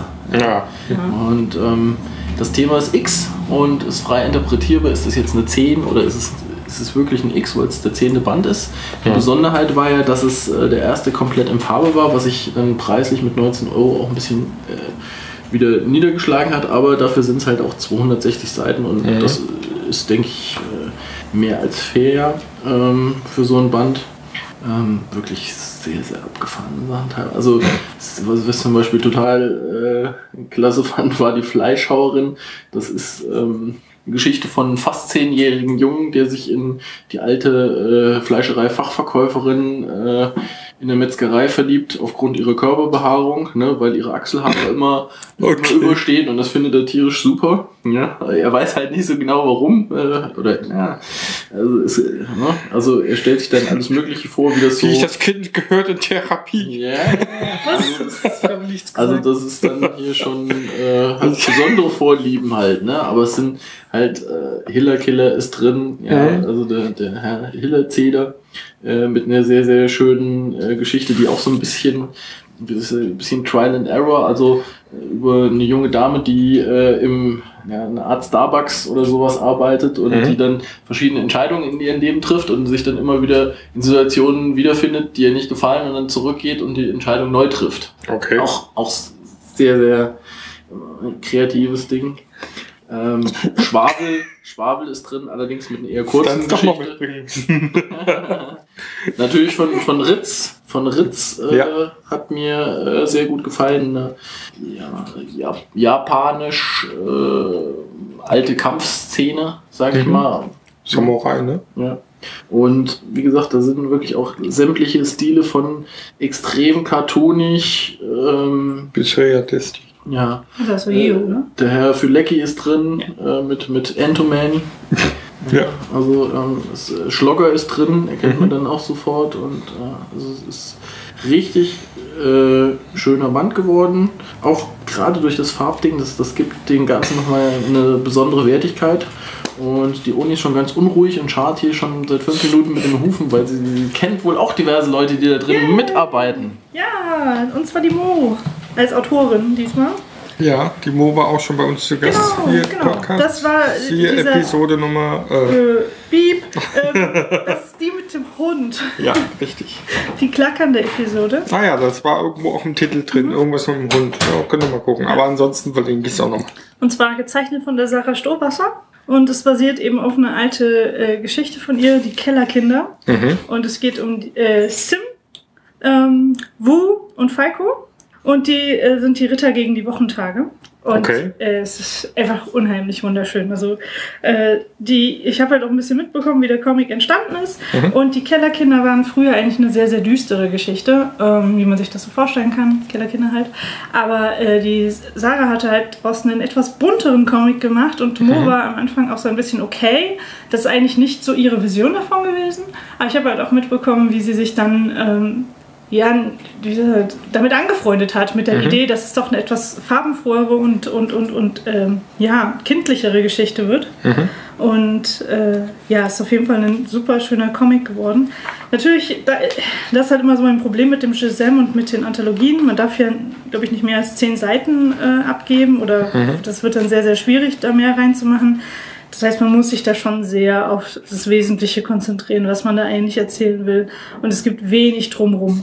Ähm, das ist jetzt nicht nur von, für Moos Geschichte schwierig, sondern ich glaube für fast alle, die halt drin sind. Wenn man so kurze, äh, kurze Ausschnitte macht, dann ähm, ja, ist man immer auf dem Punkt, was man macht und nicht, kann halt nicht so viel, ja, die Geschichte aufplüschen. Also, Mhm. dass man den Leser auffängt, sondern man muss ihn dann gleich richtig mit in, den Informationen füttern. So, wie haben wir denn noch? Moment. Nee, warte. Also generell ähm, ein sehr gut gezeichneter äh, Band, durchschnittlich, also durchweg, nicht durchschnittlich. Ähm, was immer so ein bisschen mein Problem mit den äh, Gesems war, dass da die Zei- Zeichenqualität doch manchmal äh, sehr stark geschwankt hat. Hier finde ich jetzt auch die Aufeinanderfolgung der Geschichten sehr harmonisch. Also man wird durch einen Stil nicht total rausgerissen. Das hat ja auch schon Breedstorm gesagt, dass es auch die Farbe schön abfängt. Also dadurch können halt auch verschiedenste Stile gut nebeneinander stehen, weil sie gut farblich harmonisch zusammensortiert wurden. Also wenn man durchblättert, fühlt es sich einfach nach, einem schönen, nach einer schönen Anthologie an. Ja. Hast du noch was zu sagen? ja, das Cover ist gezeichnet von Sascha Wüstefeld. Sehr schön. So. So, die nächste Indie-Anthologie oder hast du die schon besprochen? Nee, machen wir jetzt noch gleich mit. Okay. Ja, ich merke, ich habe äh, gerade, ich muss mich sofort korrigieren, weil ich habe das nämlich die ähm, zwei Hillerzähler-Geschichten in dem Band verwechselt, weil der Herr Hillerzähler ist nämlich auch drin in Mondo 2, den ich auch dabei habe. Ähm, gab auch eine lobende Erwähnung beim ICOM. Äh, ICOM. Und in dem Band sind drin Jeff G, Tim Getke, Maximilian Hillerzähler, Nudi, Schlogger, Dominik Piet, Wendland und Irina Zimmer. Und ihr werdet sehen, das sind natürlich auch Namen, die wir schon jetzt in Verbindung mit Gisem äh, gehört haben. Und ich muss mich korrigieren, diese, diese äh, Repeat, also die Geschichte, wo die junge Dame dann immer wieder zurückgeht, die ist natürlich äh, in Mondo Ach, schau. und nicht in dem Gisem. In Gisem ist auch eine sehr schöne Geschichte mit einer Dame drin, äh, wo es auch äh, um die Liebe geht. Oh, Aber das müsst ihr selber entdecken.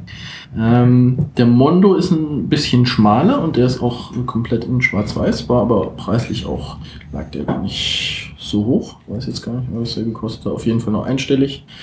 Und äh, auch da sind sehr, sehr interessante Sachen drin.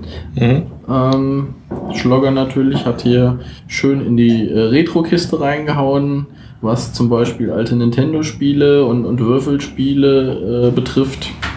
Ähm, hat man hier äh, eine kleine Geschichte, wo sie alle möglichen Figuren, Angry Birds und äh, Super Mario und all, alles in eine Geschichte mit reinpackt. Also sehr, sehr feines Ding.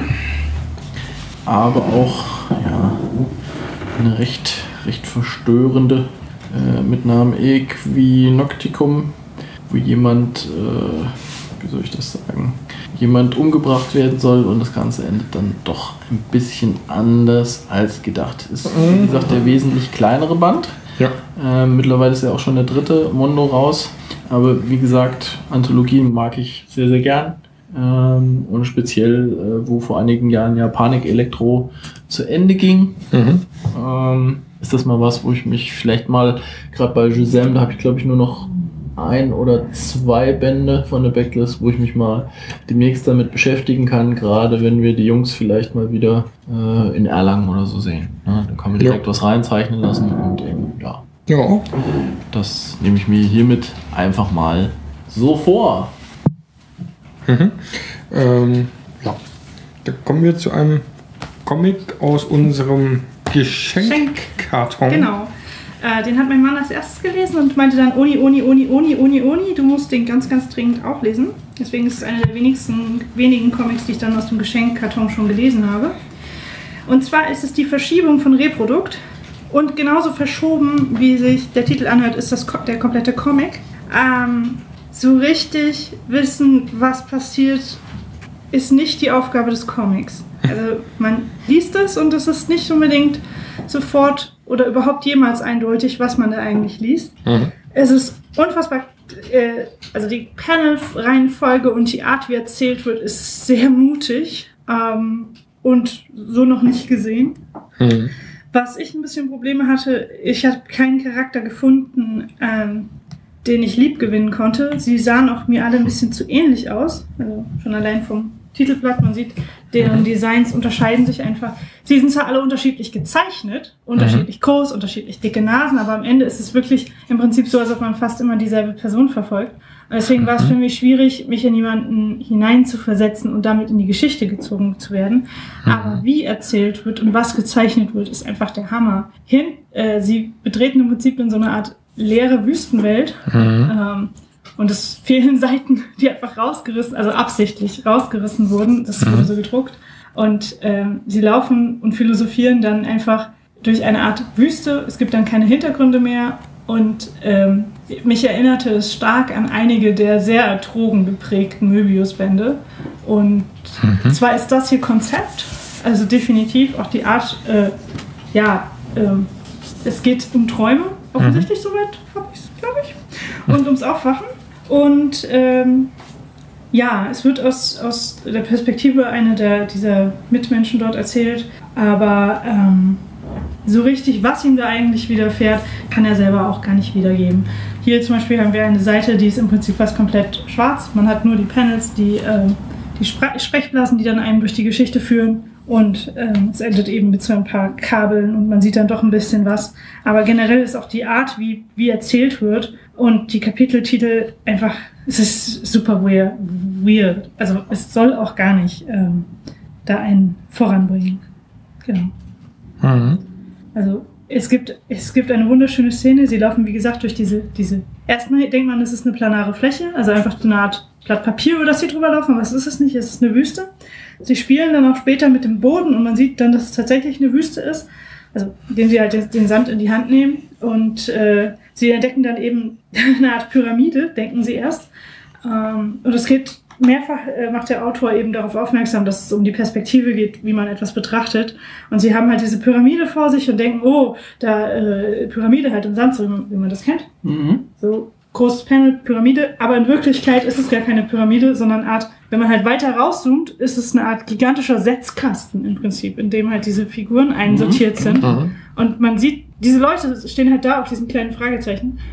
Und sie sehen gar nicht, was, dass sie in Mhm. einer Art Panel, Comicseiten-Panel stecken, der mit Sand überwuchert ist. Also allein solche, solche ähm, Bilder haben mich halt sehr stark an Möbius erinnert. Mhm. Also diese Arten von, von ähm, ja, Erzählung in der Erzählung. Der, die Herren, die da eben jetzt auf diesem Fragezeichen stehen und einfach mal, ja, dieses Fragezeichen ist halt mal geschätzt mindestens 20 Meter groß.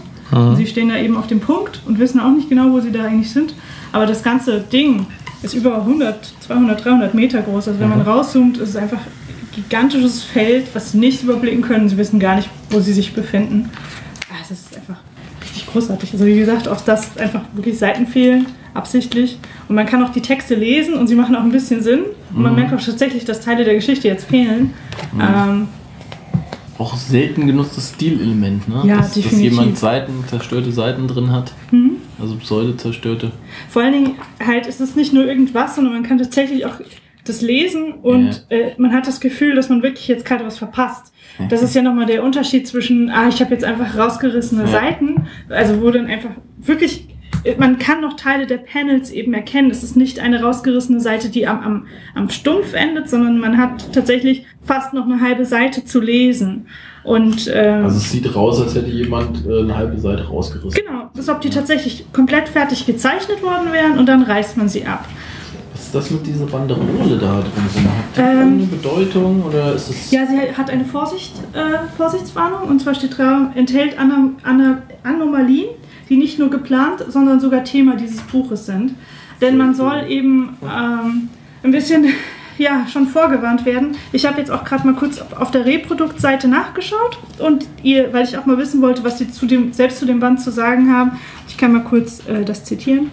Ähm, der Julius Corinthian Aquan, oh Gott, Namen spreche ich auch, wird so unsanft aus seinen Träumen gerissen und in eine Geschichte geworfen, deren Anfang er nicht kennt. Die Handlung von die Verschiebung beginnt auf Seite 7. Das Titelbild Bild findet man auf Seite 59 und mittendrin scheint jemand mehrere Seiten aus dem Buch gerupft zu haben.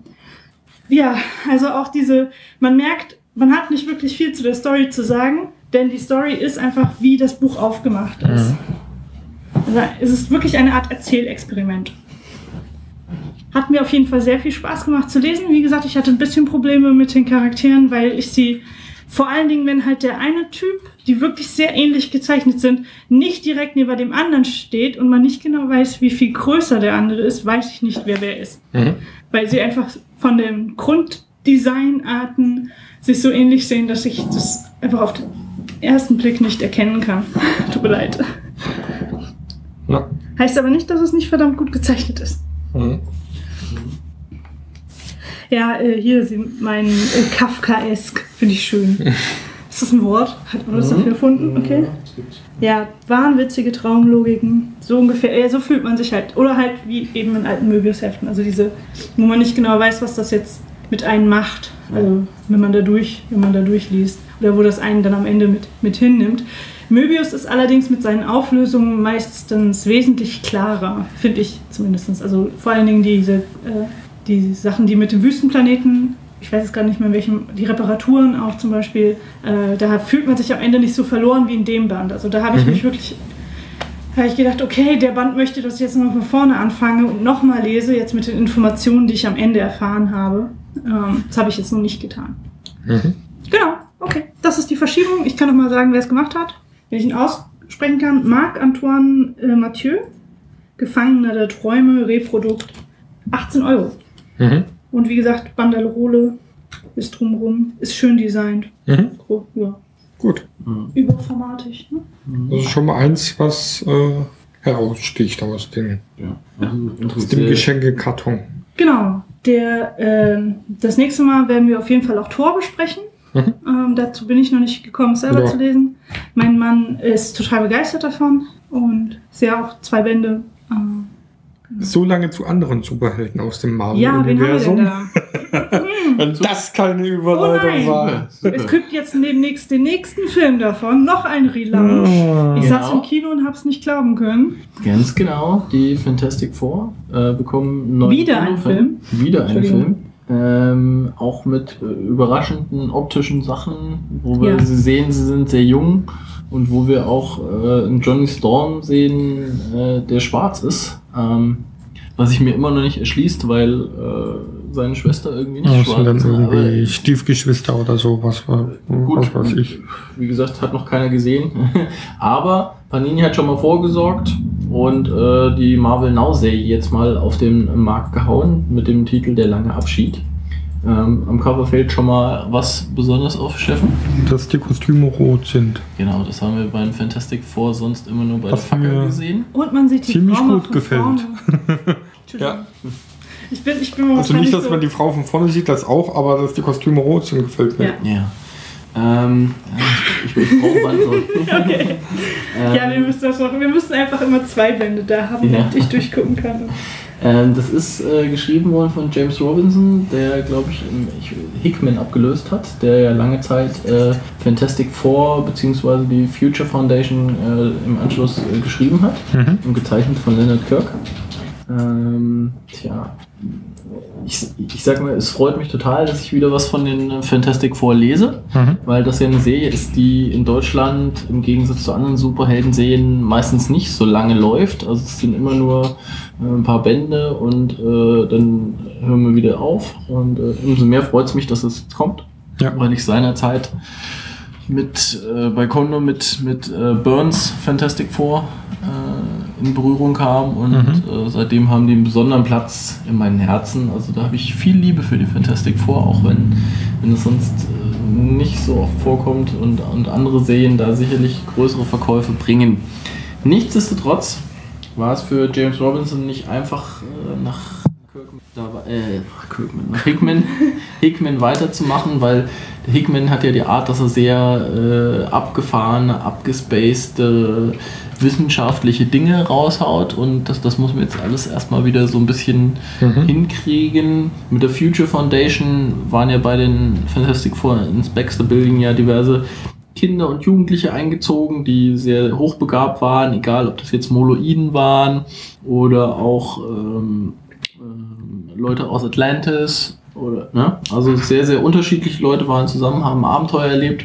Er hat äh, Dr. Doom ein bisschen anders definiert und ähm, ja, da hat James Robinson jetzt eine recht interessante Aufgabe, die erstmal passenderweise mit einer großen Prügelei gelöst wird, um das Ganze mal wieder so ein bisschen auf ein, auf ein weltliches Level zu bringen. Mhm. Aber äh, das, äh, das Ganze hat noch verschiedene Beigeschmäcker. Also um eine Gefahr abzuwenden, Mhm. startet Reed ähm, eine Bombe oder, oder schießt auf jeden Fall irgendwas ab, was äh, Johnny äh, also quasi abliefern soll. Soll Mhm. das dahin fliegen? Und bei dieser Gelegenheit verliert er seine Kräfte. Was Mhm. natürlich äh, für ihn nicht besonders geil ist, weil er wollte jetzt seine große Popstar-Karriere starten und so Mhm. weiter und so fort. Und er steht ja wirklich auch darauf, die Fackel zu sein. Mhm. Und ähm, ja, das äh, wirft natürlich Nee. Probleme auf. Aber kann man natürlich sagen, dass jetzt nichts Neues, dass ein Superheld seine Kräfte verliert. Das ist ja eigentlich alle zwei Wochen der Fall.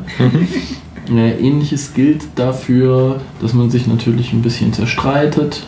Und ähm, auch ein Element, was schon öfters vorkam, ist, dass Superhelden vor Gericht gestellt werden. Und zwar wegen des äh, Kollateralschadens, äh, der da immer regelmäßig passiert. Also es gibt da eine sehr, sehr schöne Gerichtsepisode, wo äh, die Fantastic Four von Jennifer Walters äh, verteidigt werden, also She-Hulk, ähm, Mhm. in der immer auch so mit so ein bisschen retromäßigen Stil gezeichnet ähm, die, die Anklagepunkte vorgetragen werden, also so ein bisschen im, im Kirby-Stil zum Beispiel.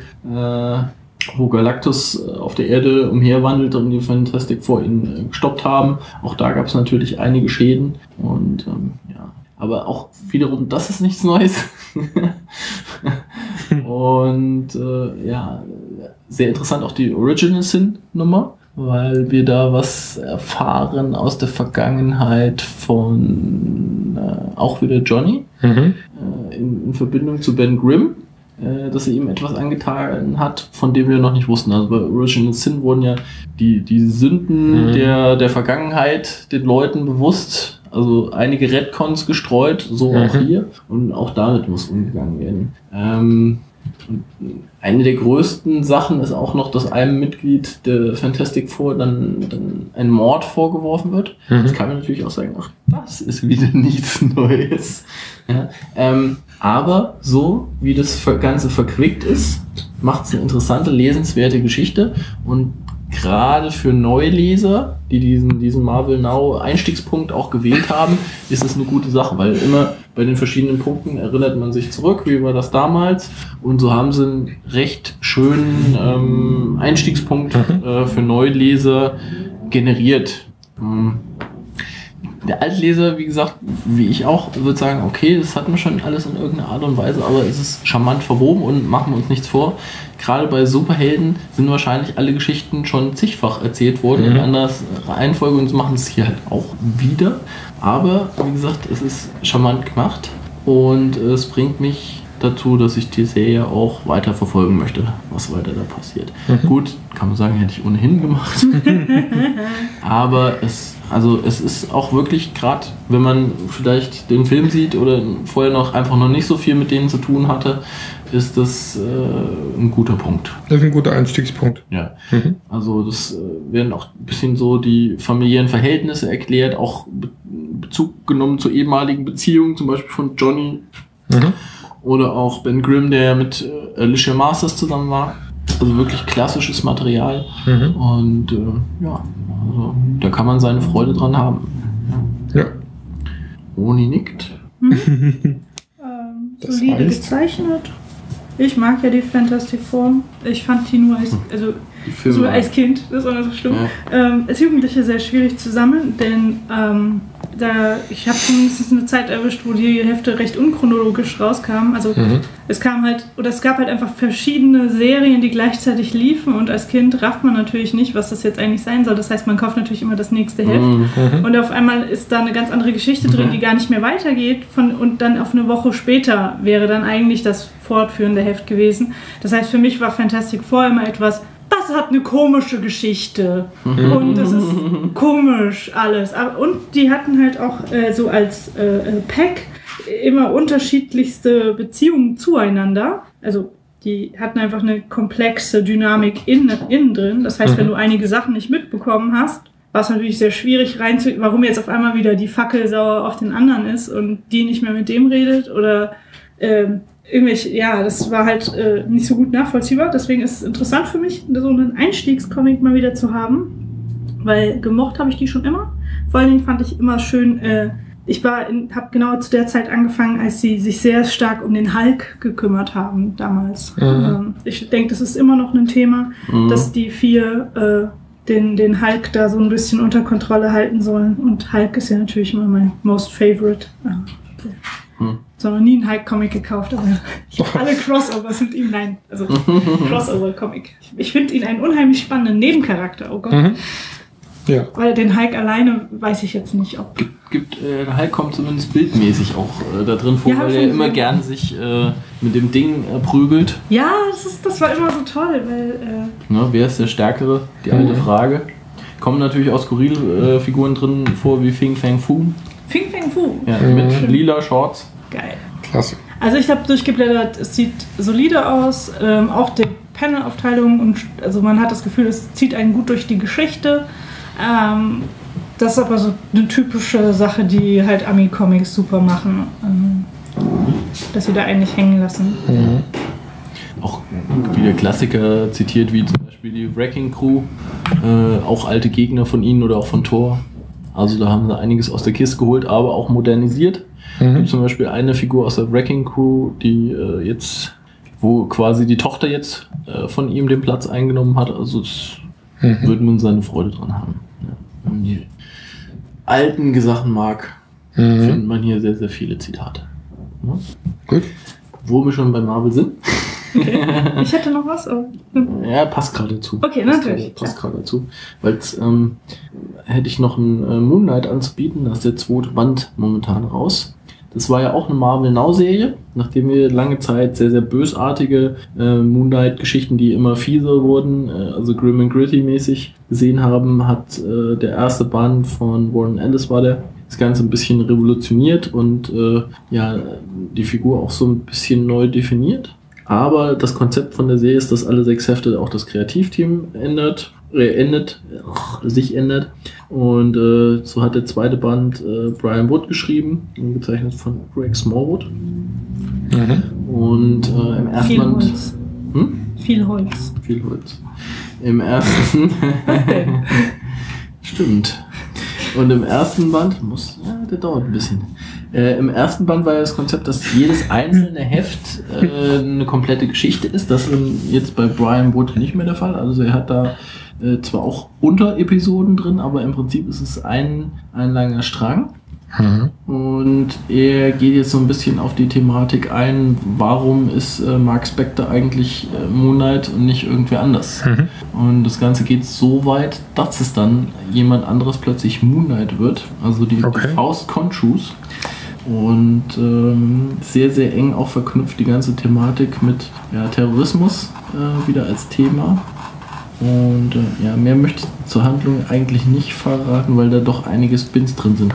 Sie haben sich optisch allerdings, auch wenn es jetzt äh, wer anders zeichnet, sehr, sehr an die Vorgaben des ersten Bandes gehalten, gerade was die Farben betrifft. Oh, das ist cool. Ne? Also es ist jetzt, äh, ich will nicht sagen, es ist einfach koloriert, aber halt, ich, ich weiß nicht, wie ich den Stil umschreiben soll, aber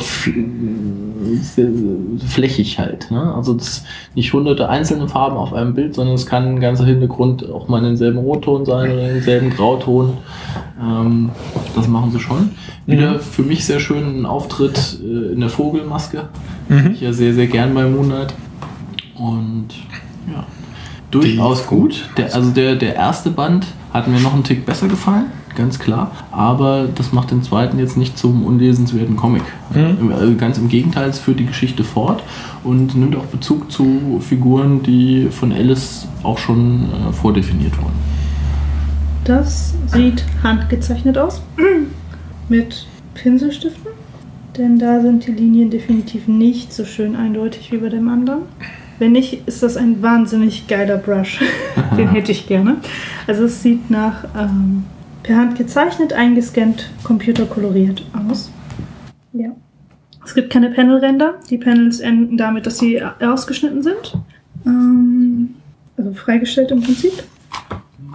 Es gibt viele Headshots, das heißt, man hat nicht so viel Hin also Hintergrund schon. Das sind aber meistens äh, also so Referenzfoto-Hintergründe und die Charaktere tragen sich durch ihre Dialoge. Zumindest vom, was ich Mhm. jetzt so lese. Ähm, unheimlich toll ist eben der mutige Einsatz von Weiß. Also dieser, äh, der Hauptcharakter trägt Weiß und ähm, bricht dadurch immer diesen sehr dunklen Rest des Comics. Also der Rest des Comics ist meistens Ja. Nacht, äh, auch schlecht beleuchtete Nacht, was man ja so äh, aus anderen Comics gar nicht kennt. Also anstatt einfach mal vier, fünf Fenster äh, Licht brennen zu lassen, sind hier halt gerne mal alle Fenster dunkel. Und das heißt, man hat halt einfach dieses komplett schwarze Fensterfront und den einen Helden, der eben äh, in weiß dann durch das da durchläuft. Man sieht auch noch den, den, den Bösewicht in schwarz und dunkel dahinter. Mhm. Hier zum Beispiel auch wieder wunderschön. Man sieht seine Füße in weiß, die dann das Bild ein bisschen Helligkeit und, und Perspektive verleihen. Und der Gegner rennt in die dunkle Nacht und den sieht Mhm. man einfach nur als kleinen Ausschnitt. Aber das sind wirklich Sachen, die schon im ersten Heft von dem anderen Ja, ich habe den anderen ne? ja leider Mhm. nicht gesehen, aber wie gesagt, von Zeichnungen her ist wahrscheinlich dann ähnlich, ne? Das hatte, ja, aber die, die Koloration ist auf jeden Fall sehr, sehr ähnlich. Das, Ja, wahrscheinlich, äh, da gibt es halt bestimmte Vorgaben. ja, also schmiegt sich da sehr gut dran an. Weil die ja auch mit sehr viel Weißflächen und sowas Ja, arbeiten. Ne? also Ja. es ist einfach, äh, Mhm. Ja. es wirkt grafisch, also ähm, das sind halt immer solche, es wirkt sehr designt, also dass die Seite eben diesen, äh, eine gewisse Wirkung erzielt. Mhm. Am 13. Juli war es jetzt soweit. Die dritte Woche der Steven Bomb war äh, angesagt von Steven Universe. Das Konzept der Serie ist ja, dass äh, immer äh, einmal im Monat, also jetzt haben sie das im März gemacht, im Juni und im Juli, eine Woche lang eine neue Folge kommt. Und äh, nennt sich eben Steven Bomb. Ist einfach den ihr Begriff dafür, dass eben an dieser einen Woche ähm, die Sachen ausgestrahlt werden. Es hatte, äh, diese fünf Folgen bilden meistens eine zusammenhängende Geschichte, die sich dann Okay. auch am Ende der, der fünf Folgen nicht unbedingt, wie wir das kennen vom klassischen Story Arc, sondern einfach die Ereignisse der einen Folge ziehen sich weiter auf das Ereignis der nächsten Folge. Man hat immer das Gefühl, die Charaktere hängen noch in den Folgen fest. Also ähm, es ist nicht einfach so ein, hey, ähm, jetzt ist das abgeschlossen, so wie man das in anderen Cartoons kennt, sondern es ist einfach ein Cluster, was einfach sich sehr gut, ähm, oder ein Ereigniscluster, der sich dann eben in den anderen Geschichten ähm, ja, fortsetzt. Mhm. Wir haben ja Steven Universe schon mal besprochen, da geht es um diese ähm, Damen, die einfach einen Kristall in sich tragen. Also besser gesagt, sie sind der Kristall, ihre Körper sind eigentlich nur Projektionen dieses Kristalls ins unsere Welt. Und es gibt äh, Fusionen zwischen ihnen. Das heißt, äh, die eine ist eben ein, äh, keine Ahnung, äh, Amethyst und dieser Amethyst kann eben mit dem Garnet, das ist halt ein anderer Kristall, fusionieren und erzeugt eben einen neuen Kristall. Ähm, die Fusionen basieren auf äh, ja, Vertrauen untereinander. Also es gibt auch ein, äh, ein lesbisches Pärchen, die einfach immer in einer Fusion äh, laufen. Also die existieren nur in ihrer Fusion. Mhm. Sie sind eigentlich zwei Einzel Einzelkristalle, aber sie gibt es eben nur als fusionierten Charakter in der Serie. Erst in Folge 49 kommt überhaupt raus, dass, sie, äh, dass diese, diese eine Kristall eigentlich eine, zwei Leute sind. So, ähm, und die ganzen Fans haben eben darauf gewartet, dass es eine Fusion gibt, die noch nicht stattgefunden hat. Und ähm, das, damit ist auch der Auftakt von, der Auftakt von der Steven Bomb. Zum ersten Mal fusionieren eben Pearl und Garnet. Das sind zwei Charaktere eben draus. Und ähm, sie machen das eben, um Sardonyx äh, zu bilden die äh, mit ihrem strategischen Wissen und so weiter äh, ein Rätsel löst, was ihnen eben Probleme bereitet hat. Deswegen wird sie überhaupt hervorgerufen. Und äh, einer der Gegner hat eben einen, einen Funkturm gebaut, um Mhm. die, äh, die Heimatwelt der Aliens zu kontaktieren, denn sie haben sie ja auf der Erde gefangen genommen. Ähm, und Sardonyx wird eben herbeigerufen, um diesen Funkturm zu zerstören. So, Okay. das ist der Grundplot. Plot. Zwei Tage steht, später steht aber der Funkturm wieder. Und äh, sie sind so über, überrascht und sind so, okay, ja, dann machen wir eben nochmal die Fusion. Sie werden wieder Sardonyx, gehen wieder hin, zerstören wieder den Funkturm. Und äh, Steven, das ist ja der Held der Geschichte, sagt dann eben, okay, der Feind ist also schon mal wieder hierher zurückgekommen und hat diesen Funkturm aufgebaut.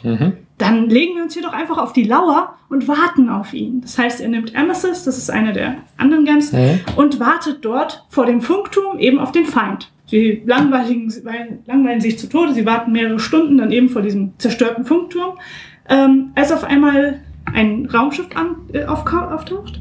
Und äh, anstatt dem Feind, den sie erwartet haben, steigt ein, eines ihrer Teammitglieder aus, nämlich die Pearl, und repariert den Funkturm.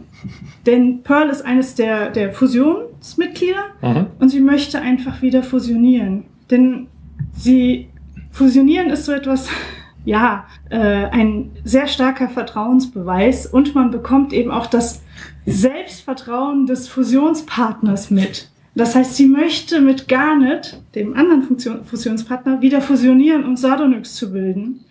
Und äh, als, Ich bin raus. ja, okay. als Ist das Fusionieren, ist das ein Synonym für körperliche Ja, Aktivitäten, ähm, sexuelle viele, Art und Weise? viele? Leute ähm, interpretieren das so. Würde ich jetzt so weit würde ich nicht gehen. Das ist eine Kinderserie. Ähm, aber es ist auf jeden Fall etwas, was wir halt auf der Welt nicht haben. Mhm. Und ähm, so wie wir, also einfach, wir haben kein menschliches äh, Synonym dafür. Mhm. Aber ähm, es ist etwas Vulkanische Gedankenverschmutzung. ja, ja, sowas in Ja. der Art. Also es ist, du bist einfach völlig im Einklang, du bist Mhm. diese neue Figur, hast aber später, wenn du diese Fusion, Fusion verlässt, hast du dieses positive Gefühl der Fusion noch Ah. mit dir. Hast du auch alle Erinnerungen? Alle Erinnerungen, genau. Das heißt, sie, Pearl hat, das, hat sich so gefreut, mal wieder zu fusionieren, Mhm. dass sie eben das. Vulkanische. Ihr Entschuldigung. vorsichtig, das ist Steffen macht hier gerade obszöne Gesten Ich mit weiß. seinen Händen. Das ist auch ein sehr großer äh, Streitpunkt in der Community. Viele Ah, sind ja. natürlich so, oh ja, das ist einfach Sex. Aber ähm, würde ich, äh, so würde ich das einfach nicht. Rebecca Sugar, die Autorin davon, ist, äh, hat sich da schon mehrfach von distanziert. Es ist einfach etwas, was wir so auf der Welt nicht. Es klingt zu esoterisch, um es einfach Sex zu sagen. Also Ja, in Stephen Kings S, als die sechs Jungs und das eine Mädchen sich in den Tunneln verlaufen, äh, fusionieren sie auch kurz und dann wissen sie wieder, wo der Weg lang geht. Ne? Also, ähm, und die sind minderjährig. Ne? Ich möchte es nur noch mal. Naja. ja. Also, wie gesagt, äh, das ist definitiv nicht die Art, äh, wo das hin möchte. Ähm, natürlich findet das äh, Garnet, die äh, Anführerin des Teams, mit der Pearl fusioniert hat, ähm, um Sardonyx zu bilden, findet das natürlich raus und ist so wütend, wie wir sie in den ganzen 50 Folgen, die es jetzt schon gibt, noch nie erlebt haben. Ähm, sie verlä verlässt nicht die Gruppe, aber sie ähm, redet jetzt die komplette Stephen Bomb einfach kein Wort mehr mit Pearl. Sie ist stinksauer. Sie fühlt Mhm. sich verletzt, verraten, hintergangen. Denn diese Fusion ist für sie ist eben dieses lesbische Pärchen, was eben in dieser einen Frau wohnt. Mhm. Also in Garnet wohnen zwei kleine Lesben. Und ähm, die haben eben diese Pearl in sich noch mit aufgenommen. Das heißt, Mhm. sie haben keine Zweierfusion gehabt, sondern eine Dreierfusion. Ja, nein, keine bösen Gedanken. Und in dieses eigentlich sehr harmonische Gebilde haben sie eben hier noch jemanden reingelassen. Und für sie war das, ist es ein unheimlicher Vertrauensbeweis, das zu tun. Und als sie festgestellt haben, dass Pearl sie eben hintergangen hat, ähm, Kannst mit über sowas nicht ja, ich reden. merke werden sie unheimlich wütend und defusionieren sogar. Das ist das erste Mal, also das zweite Mal, dass wir sie jemals unfusioniert sehen und das erste Mal, dass sie das, ja, das ist das erste Mal, dass sie das im Oh Prinzip Gott. aus sich selbst heraus machen, nämlich das, das einzige Mal davor, was, wo sie jemals unfusioniert waren, wurden sie vom, vom Gegner dazu gezwungen, Das sind jetzt die zwei Damen. die zwei Damen, die Garnet erzeugen, sind äh, Sapphire und Ruby, also Mhm. ein Rubin und Saphir. Und das sind eben zwei sehr kleine Gems, die eben eine große Frau erzeugen. Ich kann mal ein paar bisschen Google-Bilder zeigen. Mhm. Garnet. Irgendwie. Sieht man da auch, wie die fusioniert? Ja, Nein. natürlich. Achso. Also im Prinzip, es ist nichts Schlimmes. Was habe ich hier getan?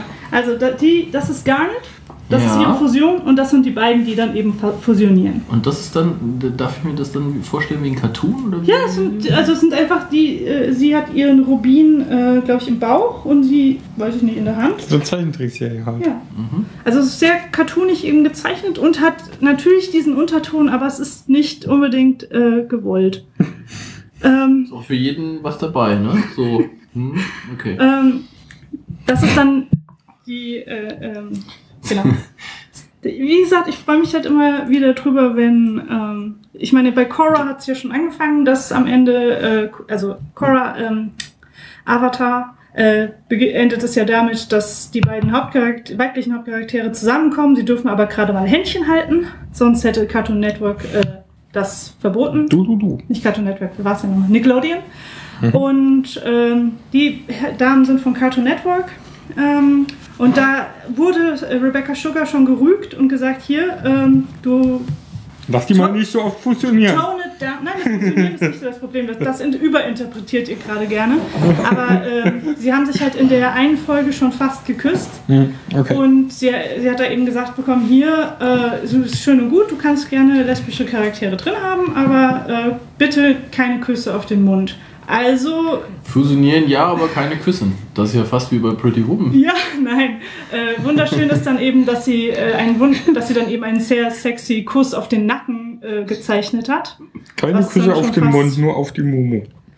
Ja, so ungefähr. Ja, wir sind hier schön explizit, aber. Zieh das nicht ins Leute. Lächerliche. Sie Entschuldigung. sind Steine. Sie sind wirklich nichts. Ist, bei der Fusion wären sie Entschuldigung, einfach ein neuer Steinmumu. Stein. Ein So. neuer Stein. Ja. Ähm, Es ist unheimlich unsexy und darum geht es. Ist, Ja, das ist, Ja, okay, also ich stelle fest, es ist ein sehr großer Unterschied. Wenn zum Beispiel der Komiker äh, Mangas referiert, ne, der sagt, ah ja, da ist dieser Kerl, der will was mit seiner Freundin anfangen und das Ganze testet er erstmal mit seiner Tante. Fertig.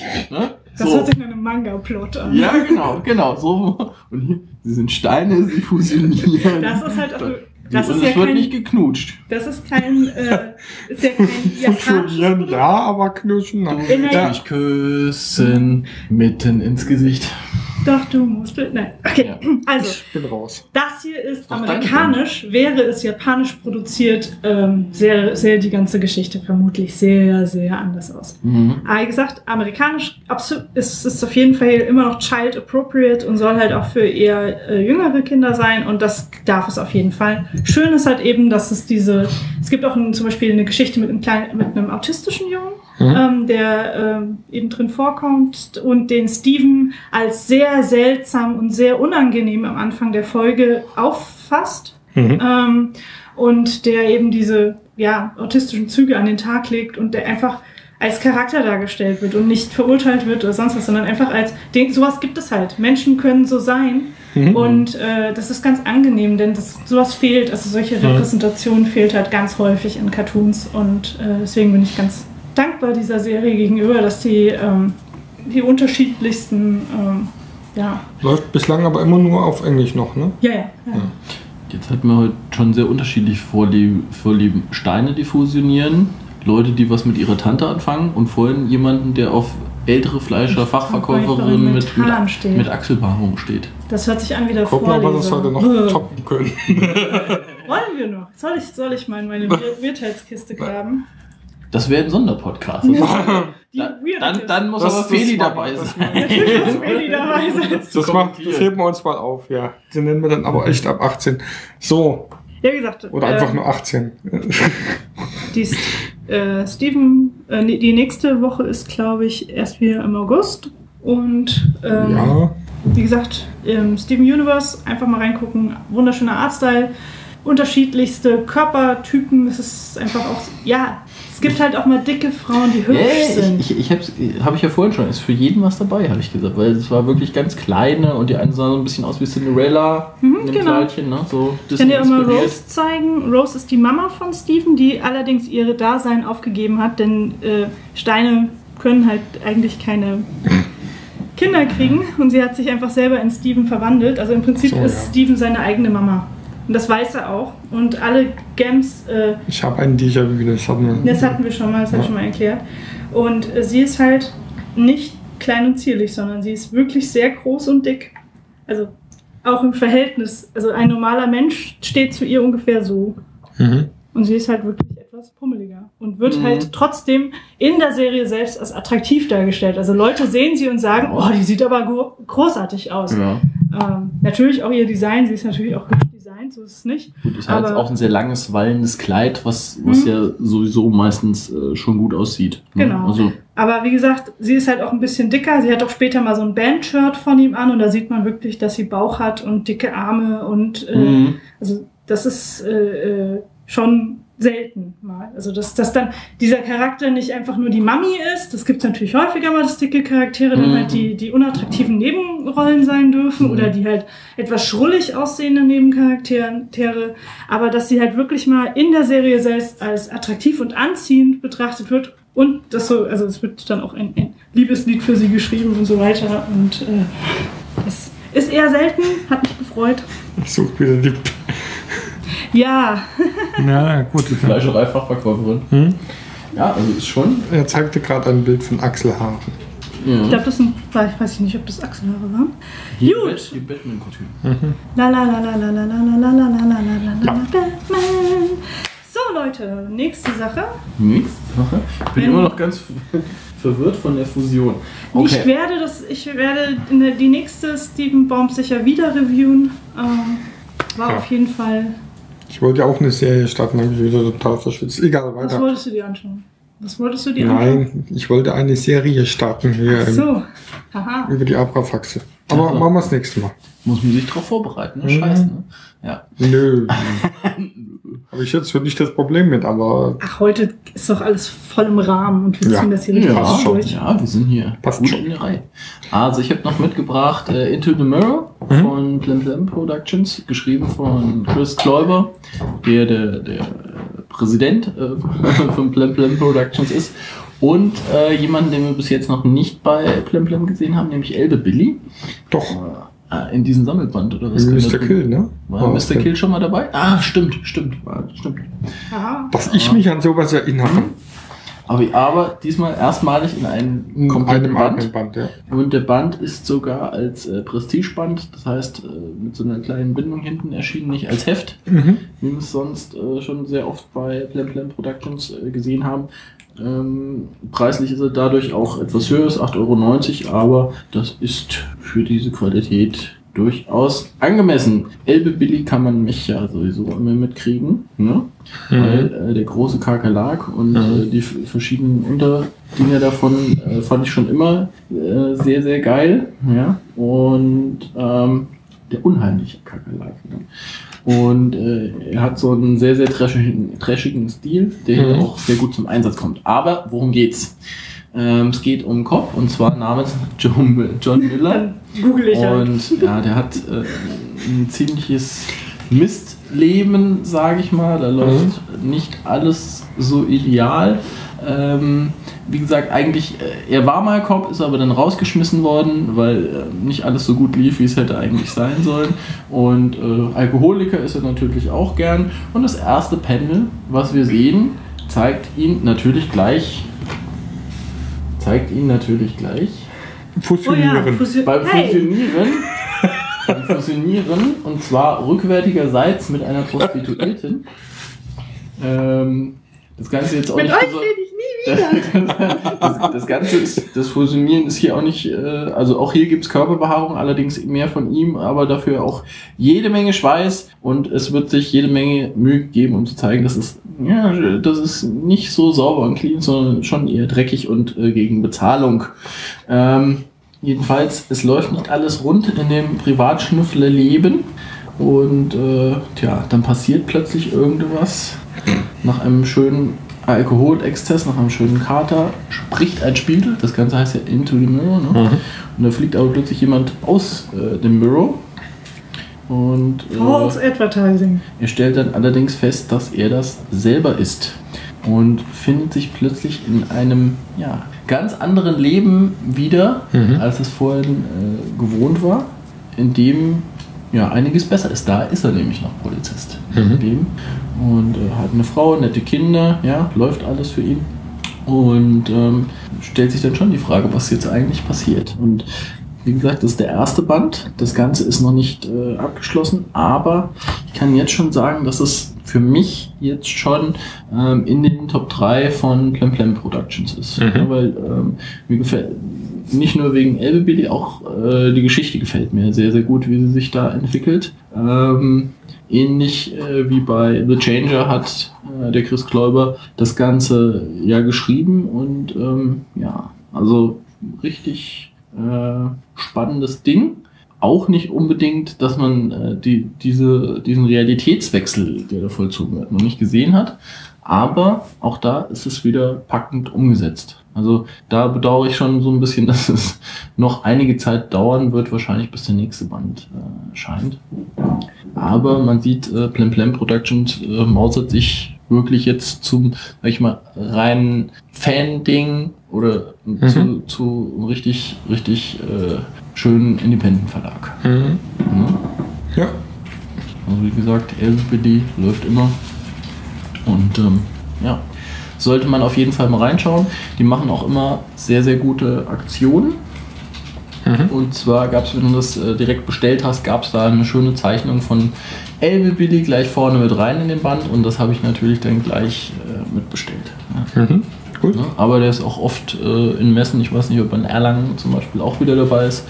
Aber ähm, Plem Plem Productions, die fahren ja auch auf, äh, sag ich mal, nicht nur die, die großen, äh, bekannteren Sachen, sondern fahren jetzt, glaube ich, sogar auf beide äh, Comic-Cons, die es jetzt in Deutschland gibt, sowohl nach Stuttgart als auch nach Ja. Dortmund. Und da kann man sich äh, sicherlich so ein Band ähm, dann signiert und gezeichnet abholen. Mhm. Dazu hatte ich auch schon mal eine Rezension geschrieben vor geraumer Zeit. Die ist natürlich auch auf dem Blog Mhm. Äh, drauf und der Steffen wird es bei der Episode mit verlinken. Mhm. So, als letztes habe ich noch ein Panini-Band und zwar ist das Highway to Hell. Und es ist nicht hier irgendwie eine ACDC-Fangeschichte, sondern es ist ja eine astreine Horrorgeschichte im äh, Slasher-Stil. Und zwar geht es darum, dass äh, zwei, ein Team von Cops ausgeschickt wird, um in ein gottverlassenen Nest äh, einen Mörder zu suchen, der die Eigenheit hat, äh, die Leute auch noch zu köpfen. Ja? Und äh, auch das haben wir schon zwei Millionen Mal ungefähr gehört, diese, diesen Einsatz. Aber auch hier in dieser Geschichte ist ein Spin drin. Ein sehr schöner Spin. Auf dem Cover sieht man schon, er hat da einen sehr angespitzten äh, Schraubenschlüssel dabei, so einen großen äh, zum Feststellen, mit dem er dann äh, die Opfer köpft. Und lustigerweise hat er keine Maske auf, sondern hat sich so eine Art Rüstung aus Teilen zusammengeschmiedet. Äh. Mhm. Und besonderes Hobby von ihm ist es auch noch, die, die Leichen äh, sehr interessiert zusammenzuräumen. Also ähm, ich dachte jetzt, na, wird das hier so Mhm. die, die übliche ähm, Horrorgeschichte wie zum Beispiel Ferals oder sowas, wo, ne, wo wir so ein bisschen einfach mit der Darstellung drauf hinarbeiten. Aber nein, äh, ist nicht von irgendeinem Ami-Zeichner gezeichnet, sondern ähm, vom alten Panini-Bekannten, nämlich Riccardo Bocelli, der schon öfters auf Tour war, wenn ich das recht in Erinnerung vor habe. kurzem erst wieder, wo sie Ja. den Band halt auch präsentiert haben. Ne? Ja, und Francesco Martina. Und das Ganze ist eine Panini-Eigenproduktion, also von Panini äh, Italien dann. Und wie gesagt, kommt auch hier. Übernommen für den US-Markt hat es, meine ich, Dark Horse. Da heißt Mhm. der Band auch etwas anders. Ja. Ähm, fällt mir gerade nicht mehr ein, wie. Aber er heißt nicht Highway to Hell. Und ähm, da dachte ich, okay, gucken wir mal, wie das Ganze wird. Aber es ist doch eine sehr ja, außergewöhnliche Geschichte. Und mir gefällt auch äh, das Leichenarrangement, wie es in diesem Band so gemacht wurde, sehr, ja, kann man ja sagen, gut. Ich weiß nicht, aber es ist sehr, sehr kreative Einsätze von von Innereien und Köpfen und alles, was man so Ja, an, an Leichen so, sozusagen die Leichen fusionieren. Ja, also da, ähm, Entschuldigung. Das hat sie gar nicht gehört. das ignoriert sie einfach. So sind sie, die Frauen. Ne? Offensichtlich. Ja. Ähm, ihr habt ja gehört, es sind zwei Zeichner und zwar macht Bocelli macht äh, quasi die, die Gegenwart und Martina, der so ein bisschen einen ganz anderen Stil hat, der auch komplett computermäßig äh, hochauflösend koloriert ist, der macht die Rückblicke. Mhm. Also dass man immer genau weiß, in welcher Zeitebene ist man. Und äh, ja, sehr, sehr feine Horrorgeschichte, die mm, nicht so platt ist, wie vielleicht das Cover äh, vermuten lässt. Mhm. Ja, also Mhm. das, äh, Ja, ich bin mal ne, gespannt, ne? ja. Und äh, gibt es eine schöne Auflösung und ähm, ja, Ist das in sich abgeschlossen? es ist in sich abgeschlossen, aber es lässt auch noch Raum äh, für, ein weitere, für einen weiteren Band. Also es gibt wie immer Leute, die nicht geteilt werden und also da würde es mich wirklich freuen, wenn sie das fortsetzen, weil das ähm, ja, über, über Horrorgeschichten von zum Beispiel äh, diversen, zum Beispiel von Avatar oder sowas, ist die Qualität hier deutlich höher. Mhm. Ne? Und der auch, da gab es glaube ich auch eine Sonderedition dazu mit so, einem- so, einem- so einem Basecap, äh, mit so einer Truckermütze, Mhm. mit, mit Highway to Hell drauf. Ähm, aber ich habe die normale Version. Und äh, ja, wäre das was für dich, Steffen? Ich hab's. Du hast es, du Ja, hast es aber noch nicht gelesen. Natürlich. Das ist nicht der Stand, äh, der normale Zustand. Ja, also das, äh, das Studio in Italien, unter dem das gelaufen ist, war Italian Job, passenderweise. Und, äh, Ja. sehr, sehr, war eine Überraschung für mich. Also ich hatte was Platteres erwartet, als es Mhm. dann letztendlich äh, gewesen ist. Ja. Ich glaube, die Zwischenanmerkung während Oni mal durchblättert, werden hier parallel zu unserer Aufnahme die Comic Schnuckis gegründet. Comic Schnucki. Das macht mir ein bisschen Angst. Von wem? Ist Von das Feli und äh, wer noch? der Komiker. Ja. Super. Ich habe ja eh schon versucht, die Grüße. zu, ich habe ja eh schon versucht, die beiden zu verkuppeln, ne? aber Ja. Feli war da sehr äh, Ja. resistent. sie möchte da, sie möchte, glaube ich, nicht verkuppelt werden, sondern sie möchte das Gefühl haben, dass es von selber kommt. Und wenn das so passiert ist, dann ist es natürlich auch so. Und äh, ja. Die Comic Schnuckis äh, fordern wir dann halt zu einem Crossover heraus.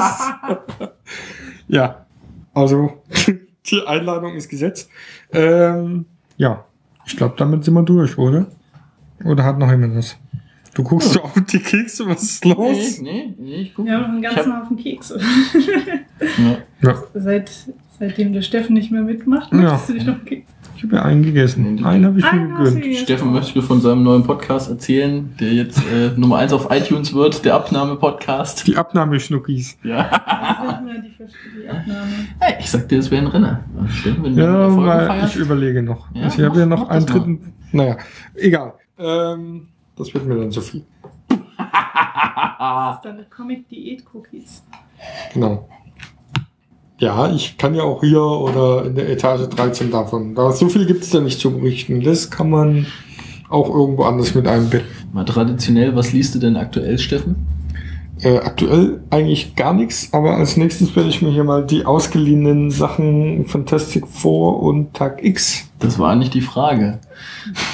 Aktuell habe ich Ant-Man beendet. Okay. Ant-Man beendet. Direkt nochmal vor dem Podcast. Mhm. Der Steffen gibt echt alles. Uni? Ah, ich schaue momentan eher Serien. Nee, äh, genau. Ja, aber was mich mal interessieren würde, äh, was man glaube ich auch noch nicht gefragt hat, oder haben wir es schon mal? Ja, äh, was wären denn jetzt so die Comics, die ihr euch kaufen würdet, unbedingt in der nächsten Zeit? Oder gerne, unbedingt ist immer so ein Wort, aber Little Nemo. Little Nemo im, im Schlummerland ja, genau.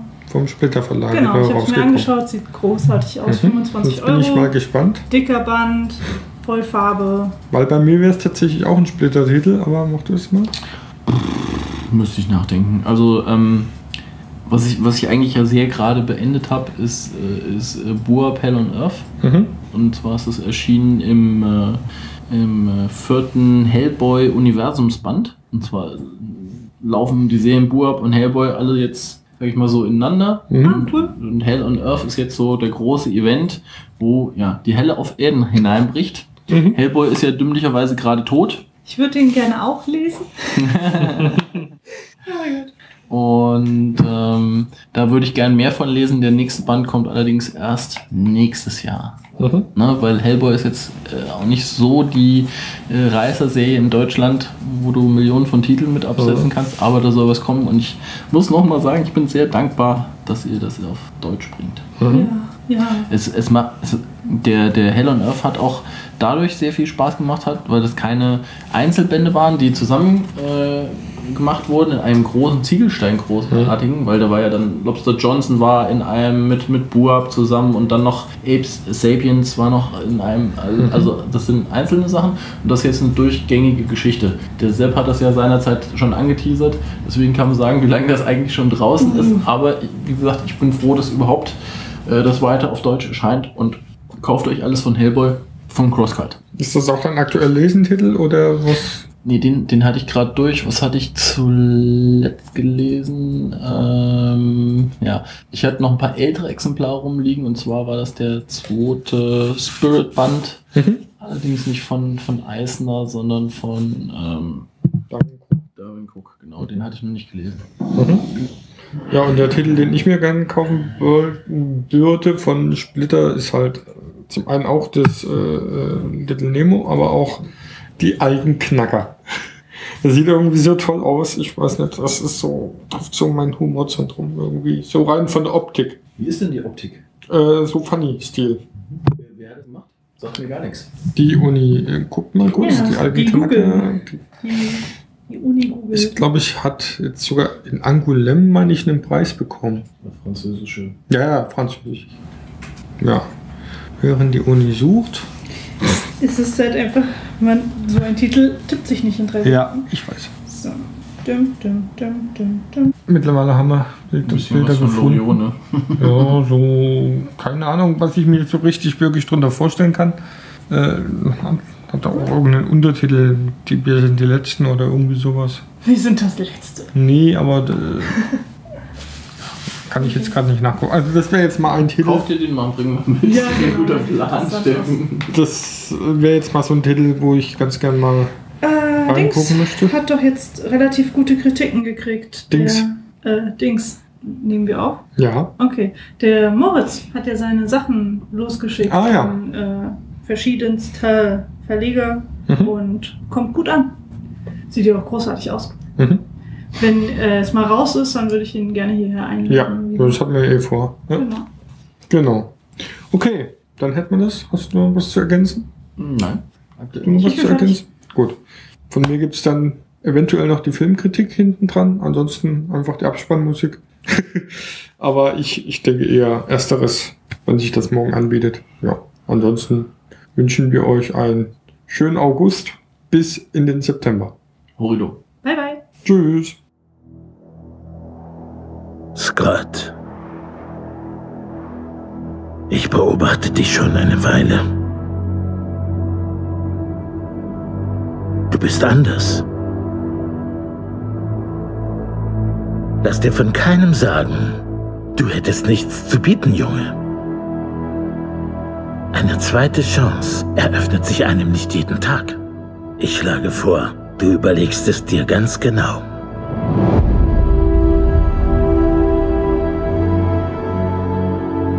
Das ist deine Chance, deiner Tochter endlich zu beweisen, dass du der Held bist, für den sie dich schon lange hält. Es geht nicht darum, unsere Welt zu retten. Es geht darum, ihre zu retten. Scott, ich brauche dich als Ant-Man. Ah.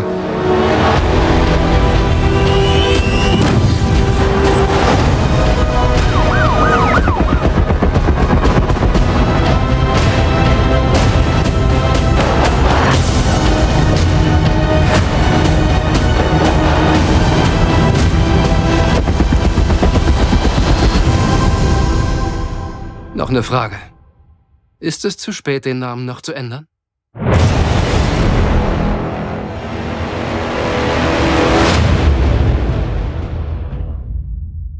Da muss ein halbes Jahr vergehen, bis wir das Versprechen einlösen und mal wieder über Filme sprechen. Hallo Matthias. Hallo Steffen, grüß dich, aber ich glaube, es war sogar schon länger als ein halbes Jahr.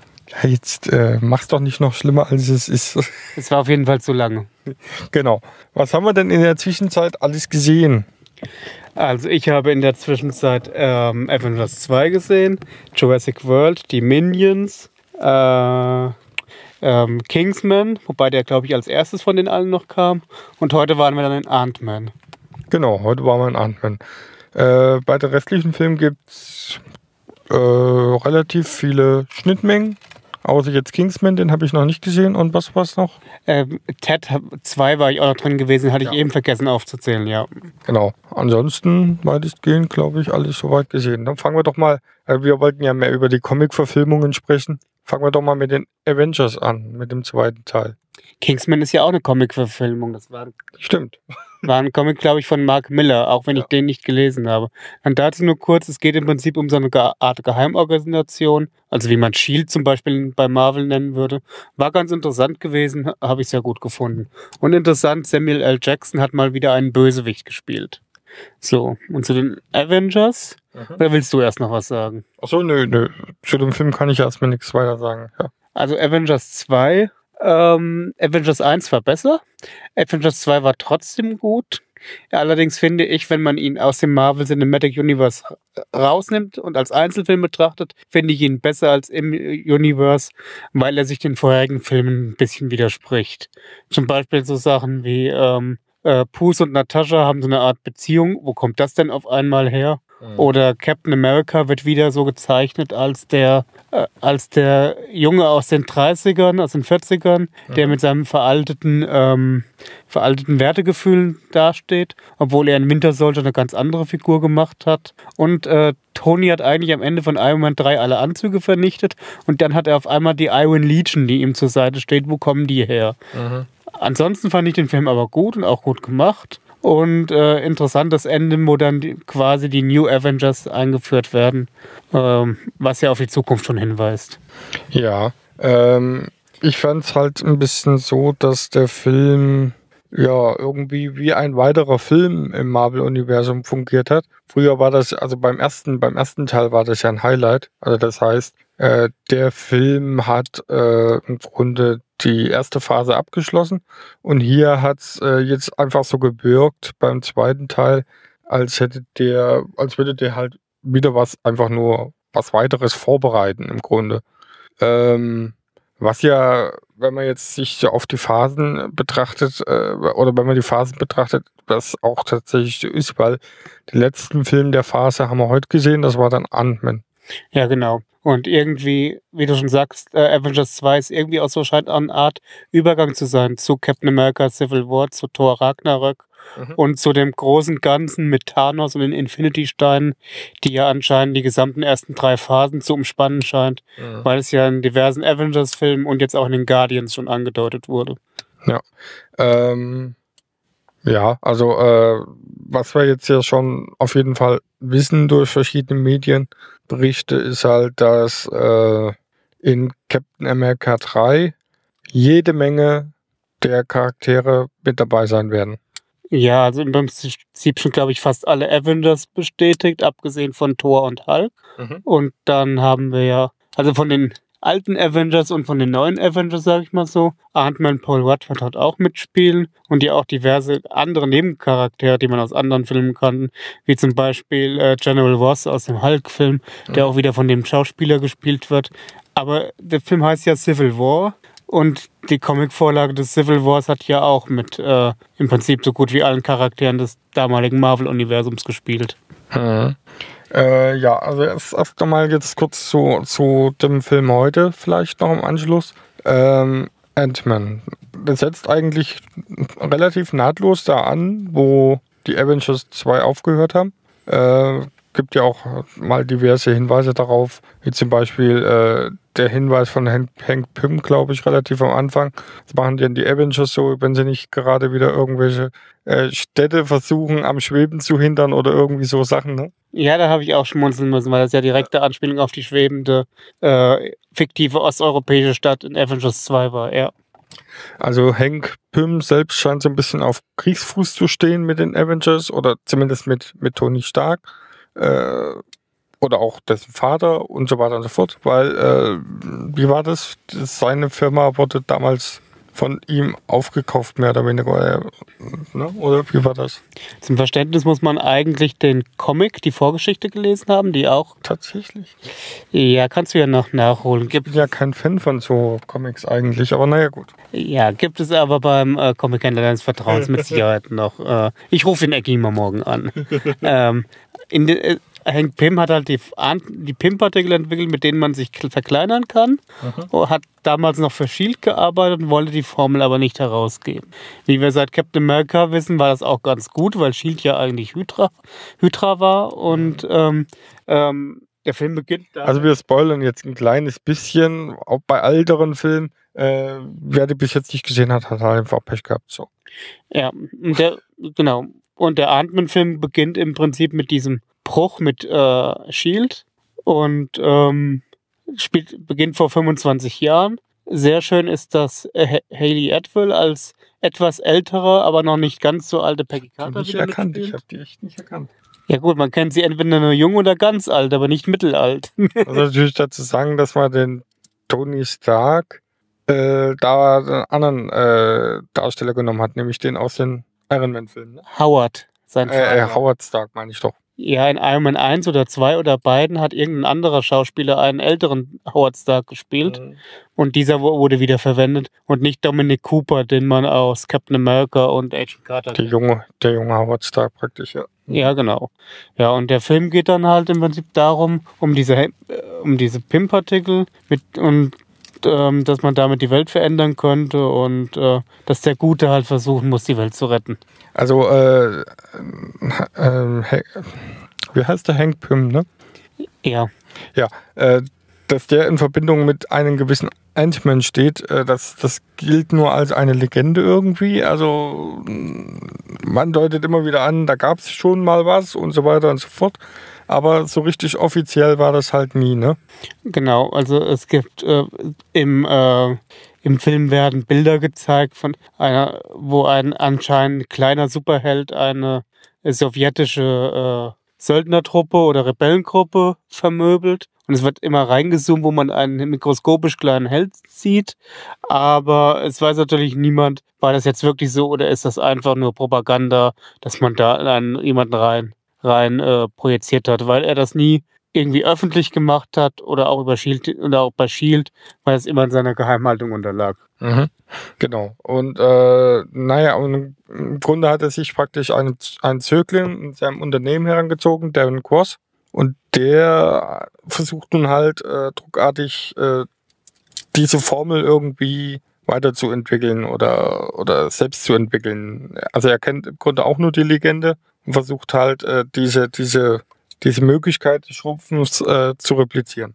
Genau, aber er möchte damit äh, im Prinzip Kriegsrüstungen, Kampfanzüge herstellen, die er äh, Yellow Jacket nennt, mhm. was auch sehr interessant ist, weil Yellow Jacket in den Comics ein weiterer, äh, eine weitere Heldenidentität von Hank Pym war. Und ja, dieser, diesem Yellow Jacket Kampfanzug, den er halt gerne in Serie produzieren möchte, möchte dann halt die Kriegsführung revolutionieren. Genau. Ja, viel mehr wollen wir jetzt von der Story hier gar nicht verraten, außer dass dann noch ein gewisser Scott Lang auftaucht. Wie passt der da jetzt wieder rein? In den Comics gibt es drei Ant-Mans und Scott Lang ist der zweite Ant-Man. Und da ähm, Hank Pym älter ist als die Avengers, ähm, deswegen geht man gleich auf äh, Scott Lang, den zweiten Ant-Man. Doch wie das alles zusammenkommt, ähm, ja, sind wir wieder beim Thema, würden wir zu viel spoilern. Genau. Äh, gut. Ja, äh, insgesamt zum Film kann man sagen, hat sehr viel Spaß gemacht. Ja, hat er. ähm, war ein guter Film. Für mich die beste Marvel-Film ist immer noch der Winter Soldier. Aber äh, Ant-Man war auf jeden Fall auch gut, insbesondere weil ich auch, wie bei den Guardians letztes Jahr, ohne spezielle Erwartungen reingegangen bin. Mhm. Weder positiv noch negativ, weil ich es einfach nicht einordnen konnte, wie es werden könnte. Okay. Ja.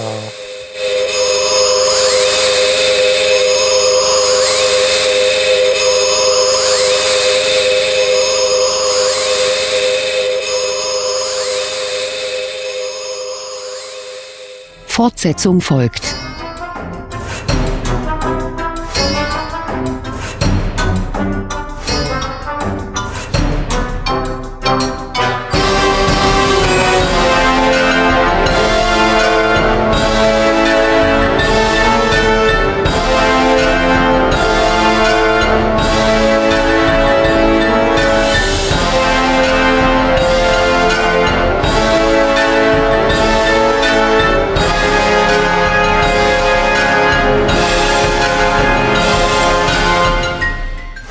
Comic Cookies sind eine Produktion der Comic Community. Schickt uns Kommentare im Blog, bei Facebook, bei Twitter oder als Audio über Audioboo. Wir freuen uns außerdem über jede Bewertung bei iTunes oder podcast.de. Alle Infos dazu und zu unserem Podcast findet ihr online unter podcast.comic-community.de. Vielen Dank.